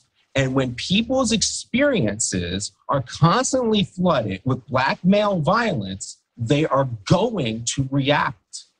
Just true. There's nothing I can do about that. Okay. So let me say this. When I when I walk, walk into a a bar and let's say there's a country band playing there. And it's, you know the whole band is white. Uh, most of the patrons are white. And I walk in and people turn their head and look at me. I should automatically assume my life is in danger but your white guys looking at me. Gonna- why not? Your, Why your, your situation matters. Again, so like when I said Prince George's, if you're in a wealthy black neighborhood and you're just a normal uh, middle class white kid driving through a white black uh, wealthy black neighborhood, yeah, nobody thinks anything of it. This this depends upon your environment. You got to be around violence. What- It's who is around violence. It's what I'm trying to tell you. Uh, It's I'm not deviating. There will be no principal changes. Police are around violence. If your neighbors are violent, you will be treated disproportionately. Yep. So you judge a book by by by uh, by looking at the No, this is not me judging you- a book. This you're is me guilty by explaining association. to you what happens. So as long as communities and police leaders, political leaders, neighborhoods continue to have police that respond with violence to violence, that's the basic principle of American policing, then this will always be the case that innocent people will get caught up when they are around violence. If you avoid violent areas, nothing will happen to you. Oh, and also, if you avoid white police officers, nothing will happen to you. Black police officers are empirically more violent than white police officers. Oh, here So we I go again. understand- So black black black citizens and black police officers are, are a lot more because, violent. because the conditions don't change. Crime is interfamiliar. A So black so cop- why why why I'm why explaining, aren't um, Daryl. Let no, me hold on hold on why, why aren't white people uh, violent? You gotta let me explain. Why aren't white people violent? They are. They are, Yes, they are violent against other white people. but not against black people. Again, all crime is interfamiliar. So to think that because someone becomes a cop, they suddenly betray what is universally true around the entire world for other groups of human beings is just simply false. Black cops are more aggressive with black suspects, and white cops are more aggressive with white suspects. And how about white citizens who who who, uh, who commit violence? They're not aggressive with black people. I don't understand. Well, you were saying that black cops are more aggressive with uh, black people, Yeah. and that black and that uh, and that black people commit uh, the majority of, of violent crime. Is, is, is this is this majority of violent crime perpetrated against predominantly black people or against white people or what? against black people. All crime is predominantly interfamiliar. So black on black crime is about 92%, white on white crime is about 85%. There's not a whole lot of difference there. But uh, No. That's it probably it's just a statistical anomaly. now, what about uh, uh, cross familiarity? It, it, it's, it, it almost never happens that a black person kills a white person or a white person kills a black person. It's extremely rare. You never heard of the Ku Klux Klan, I guess. Again, I am not I am not concerned with information from the past. I respect The past, they're still around. No. They're still around. they're not they're not an influence okay so I, I get your point but i mean don't take away what you. you but they're not they're not accomplished. they're not an influence and we look at we look at uh, things like charlottesville just three years ago we look at things out out in portland oregon with the white supremacist marches right that- daryl i mean you're literally telling me about one incident that occurred no i can tell you all kinds of incidents about, about that that has occurred i mean with uh, I it's been four years can we stop hearing about charlottesville no it's been three years august 12th 2017 Granted, I, and I hear you, and you know you can say what aboutism, but look at Portland, look at Minneapolis, look at Philadelphia, look at Baltimore. These cities are burning to the ground, and it ain't from white people. Okay, so I guess it was a black guy, 17 year old, that crossed over from Illinois in, into Kenosha, Wisconsin, and shot three people, murdering two. And That was self-defense, and you're talking again Self about white on defense? white crime. Self defense? We talking about self defense? That was clearly self defense. He will never be convicted. Oh, I, I, I, I'll dispute you on that. That's but fine. uh, how do you figure that was self defense? Why was he even there with his gun? Who cares why he was there? He had Why, why was he even in Wisconsin? I I mean, do you want to break down the situation? We Yeah. can, but he had every right to be there. He was on private property with the permission of the owner. I don't know what to tell you. He was on private property with, with uh, permission of the owner. So he came from Illinois with his gun. No, he did not come from Illinois with his gun. You heard that from the media. He has not been charged with that. No police make that claim. That gun he did not bring across state lines. It was already across state lines. So where did he get it? Uh, I, I, he works down there or had friends or something like that. I don't remember the exact story. But again, you can pull these anecdotes, and, but these anecdotes have a spin to them. We are not looking at the truth. These these situations haven't even been settled, and to to pull out these, I mean, it's literally like, look, one white guy killed one white guy, and somehow that's evidence for what? What do you mean it's evidence for what? It's for what? That's that you're calling Kyle Rittenhouse KKK? No, I'm not calling him KKK at all. I'm, Then what are you I'm- calling him? I'm calling him a lone wolf, a violent white guy who committed uh, two murders and shot. Why can't he? Why can't he just be a violent guy? Why he's got to be a violent white guy? because you're the one talking about violent black guys. No, I'm ex- you are. I'm explaining to you why this is the case because of the data. Well, the data shows this white guy came across state lines. No, it and, doesn't. And killed, and yes, it does, and killed two people. Now, now He you killed know, one person. He killed two. Okay. And blew off the third guy's arm. Okay. Well, the point Kyle is Rittenhouse. that, that's fine, but he hasn't even had his day in court. And look what you're bringing up. Uh, well, yeah. Okay. Because we, right, we right. know so we, we know we know innocent until proven guilty. Daryl Daryl Davis said. Okay, so- white guy's racist. so so so Derek Chauvin didn't kill George Floyd. I mean, did he commit a homicide? It, it Yes. appears so. But again, again, the medical professional says that that did not occur. The ME says that he overdosed from fentanyl. It does not say that he was asphyxiated. I can't change that, Daryl. And so you believe every ME, right? I'm not saying I believe that. Stop strawmanning the hell out of me, Daryl. What you, I don't know, and you're pretending to know that which you do not know, and it's indistinguishable. I know what I saw on camera. I know I- that but that man. is did- what you I, saw. I know that Again, that man did not have to have. It. I know that that man did not have to have his knee on that man's neck. It doesn't matter minutes. that he didn't have to. He did, and, and it was a, it was by police training protocol. And how many pounds of pressure did he was he applying to that man's neck?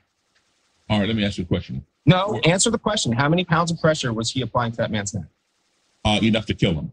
You, come on. That's How many pounds of Enough pressure to- was he putting on Enough to kill him. You have no idea. No one in, with a medical expertise who has examined the body claims asphyxiation. No one. Literally, Daryl Davis is claiming, with no medical degree, no experience in this subject whatsoever, that he knows the truth. That is just a real stretch. Well, you can say that if you want to say that, but we all witnessed a murder. Uh, No, on- you didn't. Yep, You witnessed yeah, a I homicide. I, I, I witnessed a lynching. That's A lynching? A lynching, yes. Yes. Okay, and let me explain that to you. I witnessed a lynching by a police officer. Okay. And police officers have been known to lynch people, especially black people. And, and, and what is the definition of a lynching? It's when somebody is, is, is taken and, uh, and they become judge, jury, and executioner before they have their day in court. That's the definition of a lynching. And now we, I'll, I'll go back to the past and then I'll bring it forward to, uh, to Derek Chauvin. All right. There, there have been many, many cases before you were born and even while you were, while you're alive today, where officers have left the jail open and people have gone in there, snatched the uh, black suspect, and strung them up in a tree. It's called a lynch mob. Okay, they leave the gates, the uh, the cell, the cell, uh, the police station door open so they can go in there and do that. There is evidence of that. All right. In 1982, uh, a black man was lynched by the KKK in in uh, Mobile, Alabama, named Michael Donald. Uh, 50 Derek- years, 40 years ago, Daryl. What? 40 years ago. So what? Yeah. Well, guess what? Just a few months ago, it happened again. I'm not again into indicting people Chauvin. from 40 years ago. four months ago, four months ago, uh, George Floyd was lynched. Okay, that man should have should have had his day in court. Sure. Okay, well he didn't because a police officer lynched him. That's why he didn't have his day. I mean, lynching is is like I mean, it's such a hyperbolic. Like I, I'm really surprised to hear that language coming from you. Well, don't be surprised. I, I'll say it again if you want to hear it again. No, I, I mean, I'm being serious. I am think too. that that's a that's a real stretch. No, it's not. No, you know they had every Are you saying that about the black cops that kill black suspects? Sometimes, yes, absolutely. Okay. Absolutely. Absolutely. Absolutely, without a doubt. Okay? I'm not, I'm not playing favorites here. I'm just talking about what I see. Now, what, what would you say about, about the four cops uh, who beat Rodney King and the 10 that stood around and watched? Uh, I don't I don't think there's any questions there. Um, a question as, as to what? Were, were they wrong or they were, or they were, Every were they single right? one of them was wrong. All 14. Yeah. Why? Uh, they were all violated basic pro- protocols, even of police protocols, even of all of all things. Like I'm about professional policing. Okay, so- so- so if they- things were. So if they were wrong- departmental rules. If they were wrong, uh, eh, then, then how come uh, they, they, they got off? Yeah, whether or not they get off in court isn't evidence for whether they're. they're But I'm asking you, why, why did they get off? What allowed them to get off if they were so wrong? Uh, I, I have no I, I have no idea. I don't You- know. you- would you like me to tell you? I mean, you're going to say racism. Yes, I am. Sure, but that was back then. I I agree. I'm not Back, arguing. you know, that's always your go-to. Oh, that was back then. That was back then. That was back then. Son, it still goes on today. I'm not saying it doesn't go on, but at the numbers that and the portrayal, the threat to society idea is it's just the, the stats aren't there.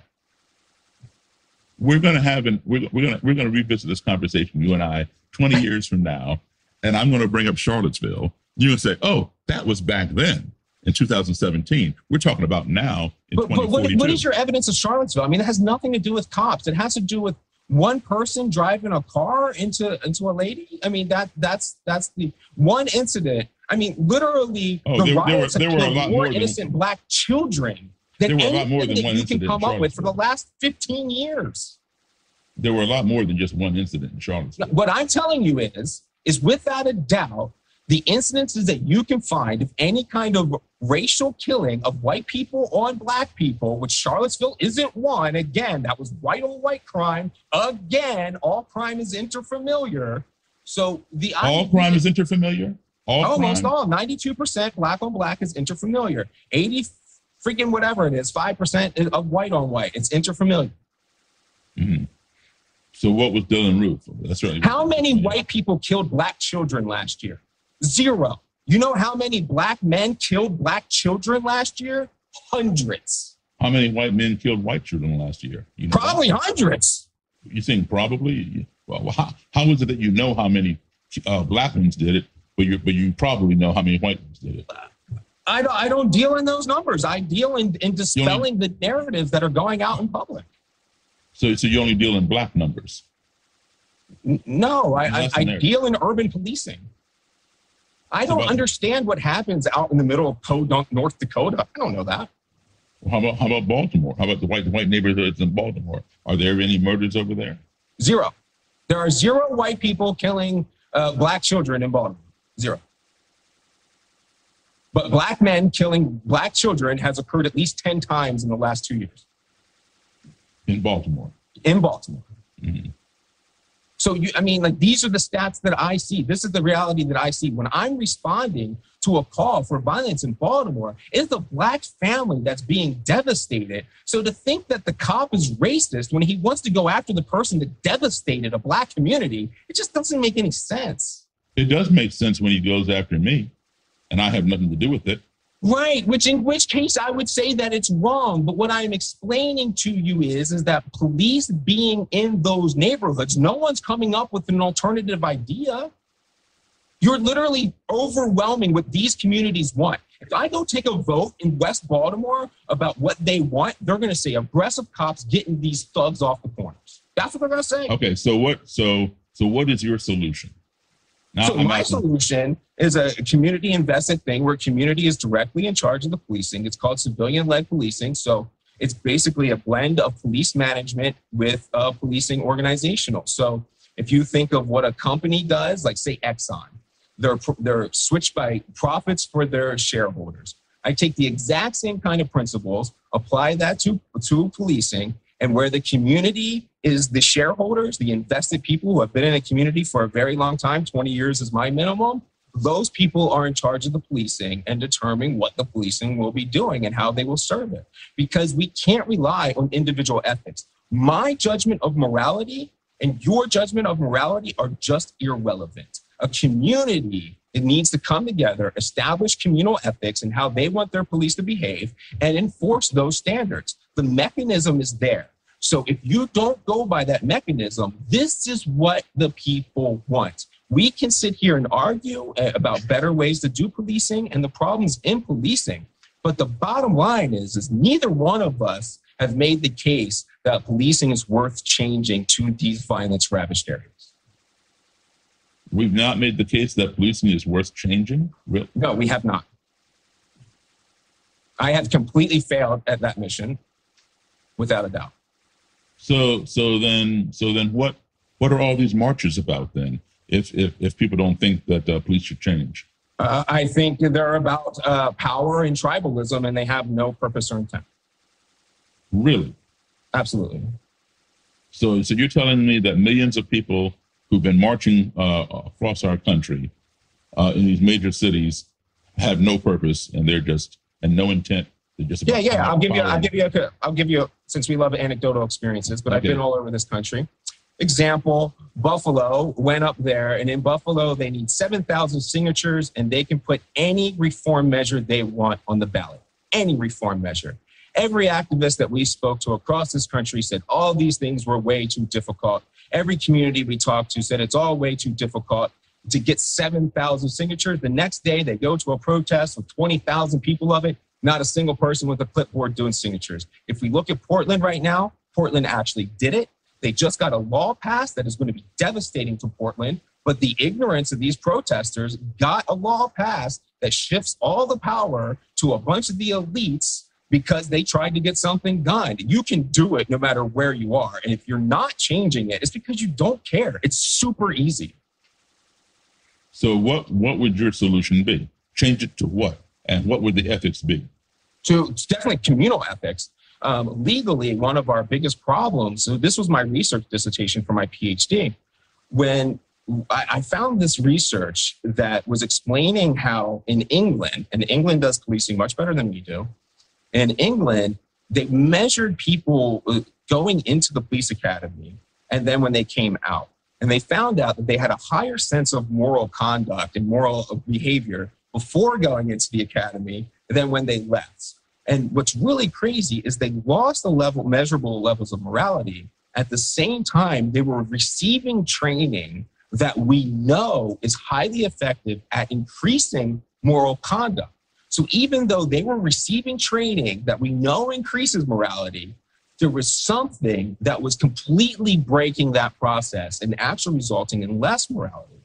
So I got with a whole bunch of, I, don't know who they are because it, it was facilitated, but I used my connections to connect with a whole bunch of academy commanders and to do a thematic analysis of what was happening at their academies. And then I don't just go for what they say, I read between the lines in a thematic analysis. And then what I discovered is that there's this huge problem between communal ethics and individual ethics. Ethics and morality are being discussed as if they're both the same thing and they're being used interchangeably. So now an example of this is legally what happens is, is if an officer feels, now we've talked about feelings a few times in this conversation and how people's perceptions are. But if an officer feels that they're under threat and they portray a reasonable level of that, that, that threat, then they can kill somebody. They can use force to whatever extreme they want. Now, that's them feeling a certain way. That's their individual ethics. They had to make a moral decision. That's what the law says. And, but what happens is a community, when you're doing policy, this is communal ethics. So the community would, would be saying, the officer needs to do what we think they should do, especially since they are a servant and an employee. I would completely agree with that concept that the employee needs to do what the employee is told, not what the employee feels. But we are very caught up in America and as a whole in how people feel. So, right now, we have interchangeably woven throughout the law and throughout policy that something should be ethical, but we're not defining where ethics comes from. And I think the community very much avoids this conversation. I think the legal system is avoiding this conversation. And one reason why the community, through all my experiences with these riots and going to, I've been to almost every state, been to all these cities where all these things have gone down, they don't actually want to do something because if you do something with great power comes great responsibility. And in that case, when you tell the officer to abide by communal ethics and they follow what you told them to and it goes bad, you've got nobody to blame but yourself. And I think we're all much happier trying to act like the problem is Derek Chauvin when the problem is a much bigger picture than some individual. So, so, so Derek Chauvin is, is simply doing what he was told to do. Well, we can't determine intent. We are all blind to intent. The, I, unless somebody writes a letter and they're like, I'm going to go kill my wife with this hammer I bought from the store today, then we can never even begin to to project. Yeah, but you, but you told me just just 45 seconds ago that uh, that the officer, if he's in fear or whatever, he can use whatever extreme force that he wants to use. I would disagree with that. It should not be whatever extreme force that he wants to use, but whatever extreme force is uh, is is uh, within the confines of the law. I agree with you, but what I'm telling you is the law says his feelings determine what he's allowed to do. His feelings, that's what the law says. So Derek Chauvin's feelings that he wanted to uh, to kill George Floyd is okay. No, his feeling that the person was a threat. And so the guy was a threat because he was. No, we don't need to determine whether he was an actual threat or not. We don't. That's gonna be no. That, I'm telling. This is what I'm trying to explain to you. the law establishing Garner, uh, can't even remember what it is. No, Graham versus Connor establishes that an officer has is reasonable fear of his life or the life of somebody else can use deadly force. And that means it's just the officer's feelings.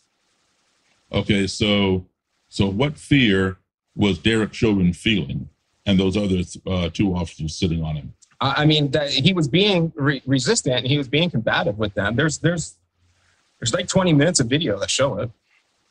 What what uh, what what resistance was he offering at the time they were sitting on his legs and sitting on his back and sitting on his neck for eight minutes and forty uh, six seconds? What uh, what what what resistance was he using then? So, so when somebody is being aggressive and then you have them pinned down and they're no longer being aggressive, it doesn't Right. mean Ali I oxen free. But no, but you have control over that individual. So why so why continue uh, killing him? Okay, sort of like. Uh, do, do you agree with what happened with Walter No, Scott? listen, listen, Daryl, you you are claiming that Derek Chauvin killed this man. I understand where you're coming from, but this is pure emotion. There is no evidence that that took place other than the video you watched, but you don't know. That is not. It's just. It's just not evidence. You don't know how much pressure was being put on, and his bones were not broken. There's nobody. There's nobody that's examined that body that's calling this asphyxiation. You're you're injecting that.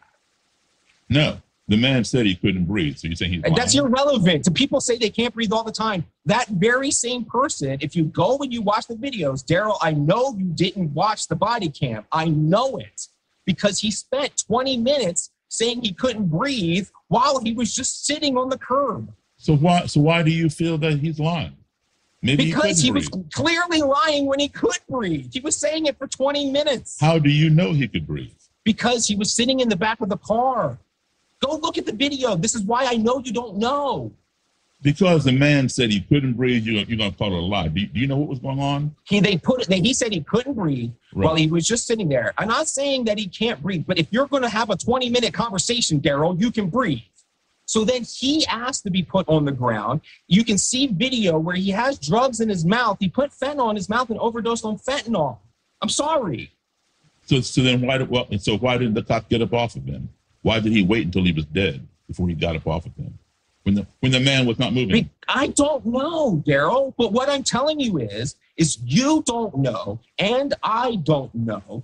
But the Minneapolis Police Department training procedures literally tell the officers to do that action. I'm What- sorry, what is and your I know that bothers you. What but is your take on the uh, you. what, what is your take on the Walter Scott case? I that's clear cut murder. Huh? Clear cut murder.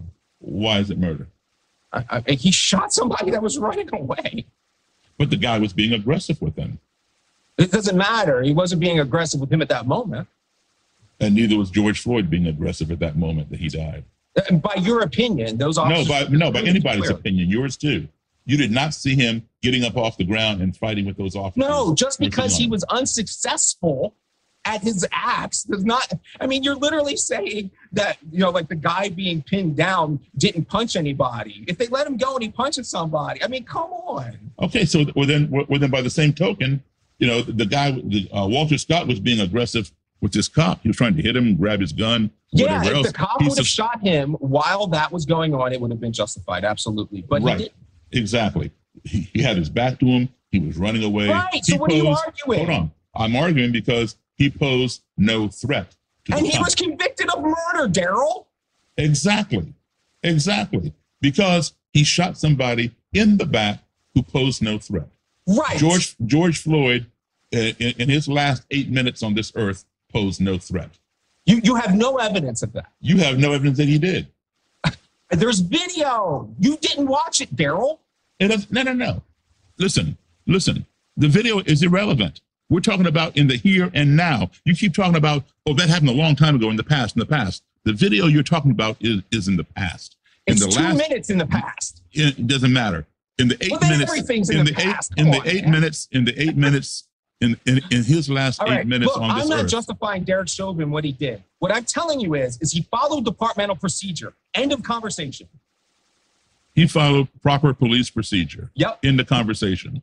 According to Minneapolis Police Department, he followed the training that they gave him. You cannot try and ca- charge a cop with murder because they followed the procedures that the community established. So he's just too damn stupid to know that, that what he was doing was Yes. wrong. And and the two guys sitting on his back, Yes. and, and we're also too stupid Yes. to, to see. Uh-huh. Yeah. So so maybe so maybe they should be charged and, and, and locked up for the rest of their, of their life for stupidity. Right. And see, now this is you not wanting to change the, commu- the, the, the criminal justice system. This is you wanting to make the criminal justice system be your tool for vengeance and revenge. And that shit needs to fucking stop. No, that's not that's not my my tool. It is. No, because if they wanted it, is it also police procedure not to investigate 18 complaints?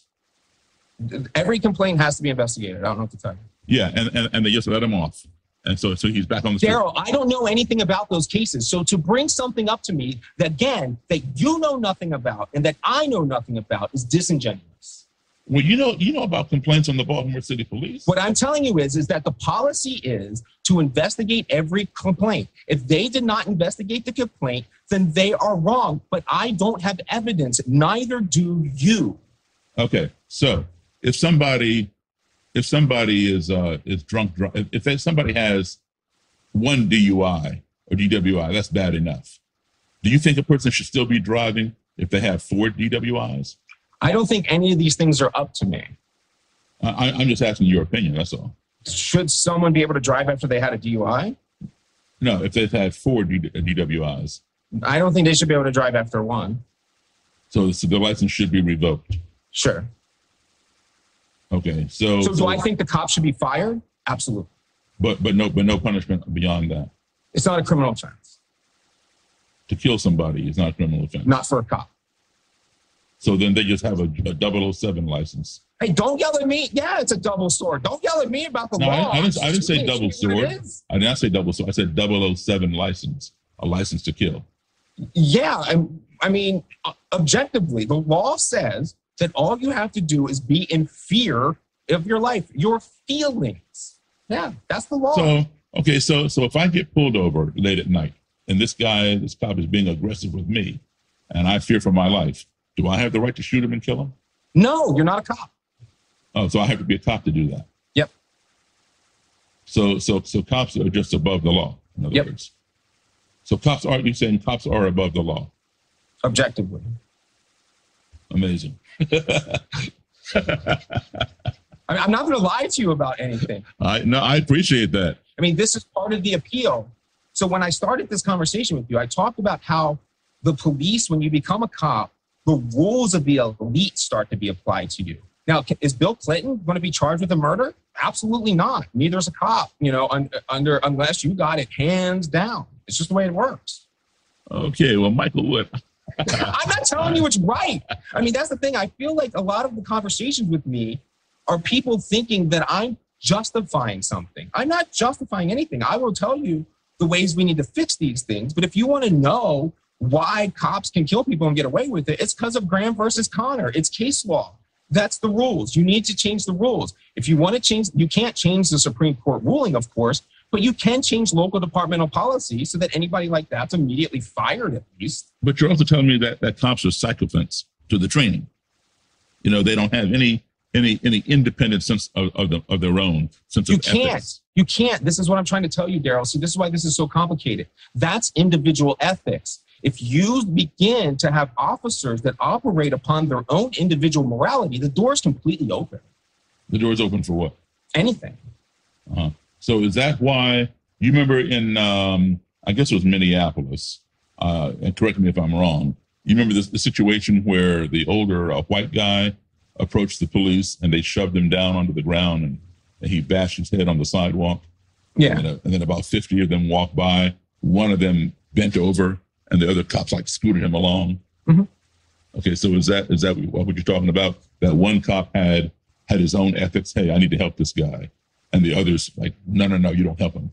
Well, um, I, I think that is a. See, these are these things. I get really frustrated whenever I like. I mean, this has been my whole life. When I watch movies that talk about the Marine Corps, you know, it's like so in Minneapolis. And why I get frustrated with these things a lot is is I don't mean to insult you because I, I know this comes through media, comes through a lot of sources. But people end up speaking about things that they don't know and don't have any experience with. So while the, the cop pushing the guy down was wrong, we then extenuate that to what happened afterwards. Now, it's basic riot control procedures that the front line stays together and you're not supposed to stop for any reason. There are people behind the line that are supposed to deal with that kind of stuff. So the reason that the other cop was dragging it, we told him no, is because that's not his job. He's literally screwing the system up. Even though this man is lying there bleeding, he could be dying. Right. It's like a pilot f- flying off out of formation. It's not that individual that individual officer's job to do that. There, there's a safe area behind the line. That's the whole point of the technique. So you push the line forward, you create a safe area, and then the medics will take care of him. And there's officers behind those people that will take care of him, which is what happened. Okay, and you realize the officers lied about it, right? Uh, that's not true. It that's is a true. media trope. What are you saying? Uh, I mean, I've seen the statements from the officers. I mean, they, they, they didn't say anything crazy. Uh, well, now you now you're going to tell me this comes from the media. Mhm. My understanding is, okay, uh, they we, we saw on camera, they shoved two two officers shoved the guy. He went down. All right. Then about Yeah. 57 of them Yeah, but hold by. on. He'd also been warned at least five times. Doesn't matter. That's, that's irrelevant. It's not irrelevant. It, it is. It's not. But well, difference of opinion here. I mean, you can't, you can't, you can't disregard a lawful order and then act like there aren't repercussions for that. Uh, I think I think you can. Okay, I mean That's that guy- ridiculous. that, that guy that guy was not violating anything. Yeah, he You know, did. He that- violated the order to clear the area. They they were not rushing any. They weren't running. They were walking. yeah, that's what they. I'm just telling you. Okay, but that he violated the law. You can object to the law, but you cannot object to the reality that he did. Let me finish. Okay. They shoved him down on the ground and went on by him without uh, rendering any kind of assistance. They're not supposed to render assistance, but okay. L- All right, let, let me finish, okay? And then they lied about it until the video came out, and that's what got them in trouble. They said he tripped and stumbled and hit his head. That's what the cops said. Now, you gonna tell me the media made that up? No, but I mean, you're saying that this is again, I understand what you're saying, but you got to understand that I'm asking, why do they lie? Why do they lie? Why don't they say, hey, we shoved him I'm because... trying to explain, Daryl. Good. If you apply these principles to every other scenario, you will begin to see them fall apart. What I'm trying to tell you is, is you don't know that that's not how that person saw it. They could have seen that he tripped. That could have been their perception. He could have been like, I barely touched the guy. I have no idea why he fell. He must have tripped. It doesn't make any sense. I've done the same thing myself before. I have seen a kid, I've been chasing a kid, and I'm telling you, the kid, he's running down the street, and I'm getting ready to tackle him. And he got a bubble jacket on. He looks like he weighs 200 pounds. And I go to tackle him, and I realize the kid weighs about a buck 10, and I just blasted him with a tackle I shouldn't have because I misperceived the situation. That's not criminal. What is criminal is this. We saw the video. We saw the cops clearly shove the man and he stumbled backwards and fell and hit his head. Okay. Sure. And then we heard that the cops said that he tripped. Okay. He tripped. Right. No, he didn't trip. He was shoved. Okay. And then that's when the video showed that and verified that the cops were lying. You, you, you don't know that they were lying. You know that they were wrong. Okay, so let me ask you a question. Somebody injects all kinds of drugs, all right, and the heart speeds up and goes into arrhythmia or whatever, and the person dies. Mhm. All right. The uh, the the death certificate says the person died of a heart attack, when actually the person died of a drug overdose. You, you understand the difference? Well, I mean, the, uh, a good ME should be saying that they drug, died of a drug overdose. Right. Okay, so take a look at Elvis Presley. He died of heart arrhythmia. We all know the man had all kinds of drugs in his body. I'm not interested in that. That was obviously covered up for politics. And, and, I, and don't you think police cover up things for politics too? Yes. Okay, so that's my point exactly. The man did not trip. He was shoved, and the cops lied for for whatever reason. Again, you don't know that they lied. You don't know that they did, or, or that they didn't. I don't have to prove that. You're making a claim. I'm not. Well, all, all you're doing is protecting the police. No, I'm not. I'm trying. I'm trying to inject. You're trying to be objective, but but you you saw on camera they shoved the man. They shoved him. He didn't just walk up to them and and, and Right, and if feet. you want to start saying that every time somebody was wrong I didn't say every time. I said on camera. A lot of people are going to be in prison. I'm giving you one particular example. I'm not Yeah, I don't care time. about anecdotes. You got to understand that. You- well, obviously you do because you're defending it. You're defending that that these guys didn't lie. I didn't Explaining the situation once again. Ex- explanation is not justification. What do you mean? I, I'm not I, just because I'm explaining a situation doesn't mean I'm justifying it. You keep saying I'm defending something just because you don't Okay. like my explanation. No. Well, because how, how can you defend when you when you Again, clearly- I'm not defending something. I am providing explanation. so you're providing explanation that two cops shove an old man, and and you're telling me You don't know that they lied about being tripped. That and there was n- they're they're shoving the person is part of training. Your problem is with the training, not with the people. This is what I keep trying to. If you are focused on the individual, you are focused on individual ethics, and you're missing the point, and you're focused on revenge, which is missing the my point. question is, to you is though, okay, so why can't they just say, we did what we're trained to do? We shoved the guy out of the way. We gave him five warnings. He did not, hold on, he did not comply with us. We mm-hmm. do what we're trained to do. We shoved him out of the way and kept on going. That would have cleared everything up. But instead, they shoved him out of the way and then they lied and said he tripped. That's, that's the what you difference. that's what you're claiming. I no, bet that's what that's what I'm proving. I proved that. You're, you're not right now. So I let's am. go back. I already did. Daryl, let's go back and pull the reports. And I'll pull the reports. I'll get the reports from the police department, and we'll see what they actually claimed, not what the media filtered to you. So how do you know what the media filtered to me is a lie? I mean, I heard that stuff too, and then I go back and I pull up the documents. I mean, I don't expect you to be able to go and do that every time, but this is what I do all day long. Okay, so what do the documents say? From what I, I mean, I don't know. I'm not going to pull up off of memory. What I'm trying to tell you is let's go get the documents Okay. and let's go see what they say. But it's basic police protocol to cite these things. The, the Okay. idea that they're not going to say it would, would blow my mind. And and and would you uh, would you say that uh, 99.9% of the time, every time a police officer fills out a document, he tells the truth? Almost never. He never tells the truth. Almost never. So so why are you defending that then? I'm not. I'm explaining it. Stop saying I'm defending it. Okay, so I'm telling you the cops lie, and you're telling me they lie. No, you need to prove that they lie. But I don't care me- what you tell me. Okay, but but you're telling me that, that they almost never tell the truth. What's right, those are separate incidences. What I'm trying to tell you is, is that when police fill out reports, they will say that we have been trained to do it this way, and this is what we did. That's literally the justification, and they use that to the extreme. So you're injecting that they didn't do that when this is something that cops do too much. No, what I'm saying is, if if they're trying to shove the guy out of the way, he did not comply with an order, so they shoved him out of the way. Fine, okay, but Right, so let's pull up their report to see what they actually said.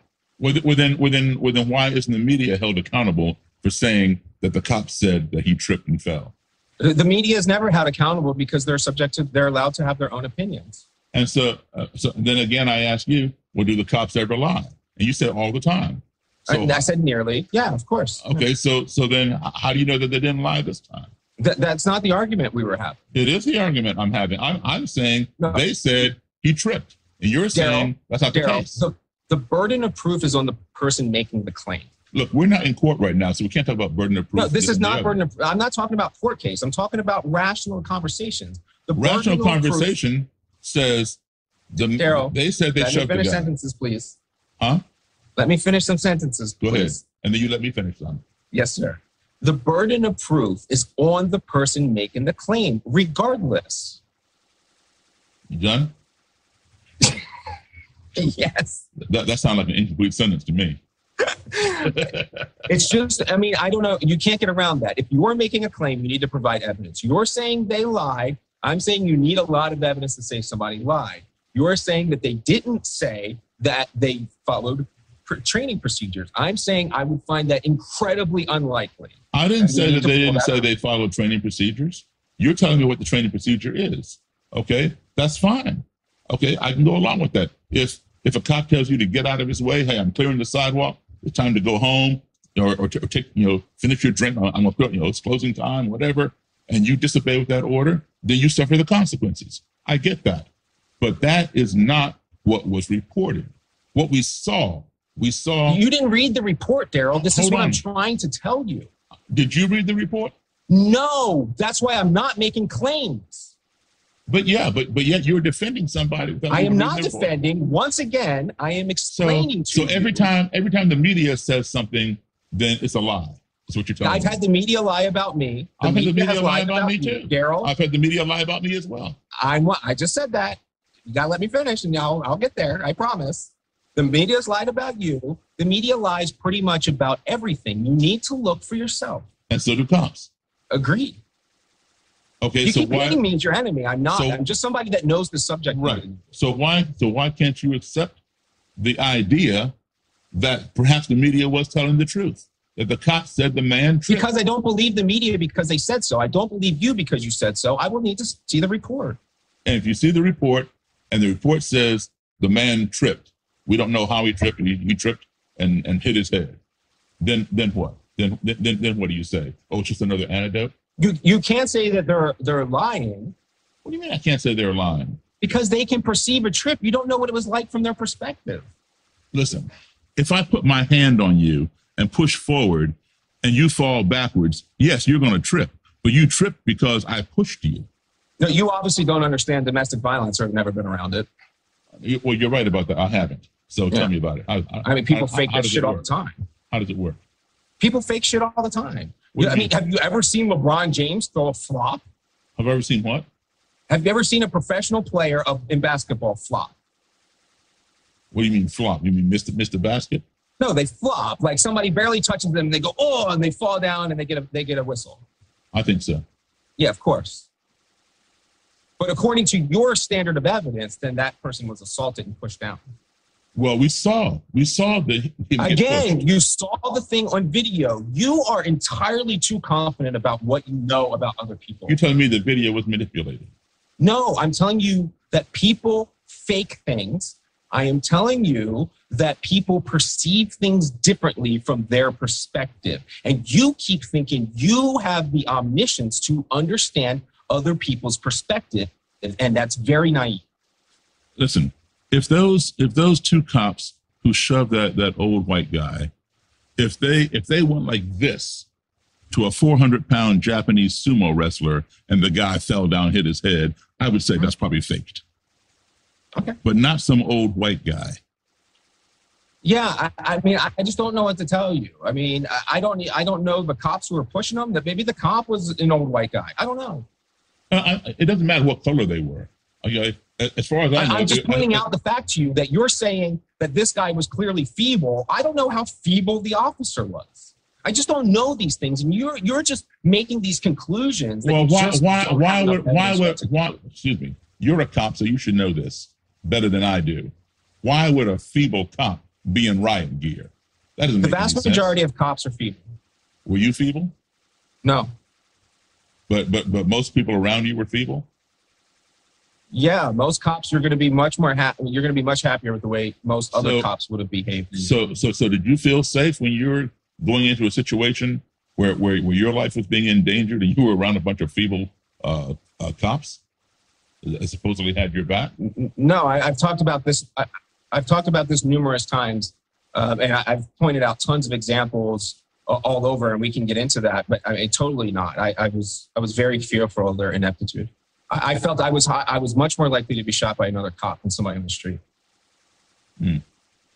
Okay. Well, listen, this is this has really been a good conversation, man, and I really, really appreciate all your objectivity, whether I agree with it or not. Uh, some things I do agree with, others I don't.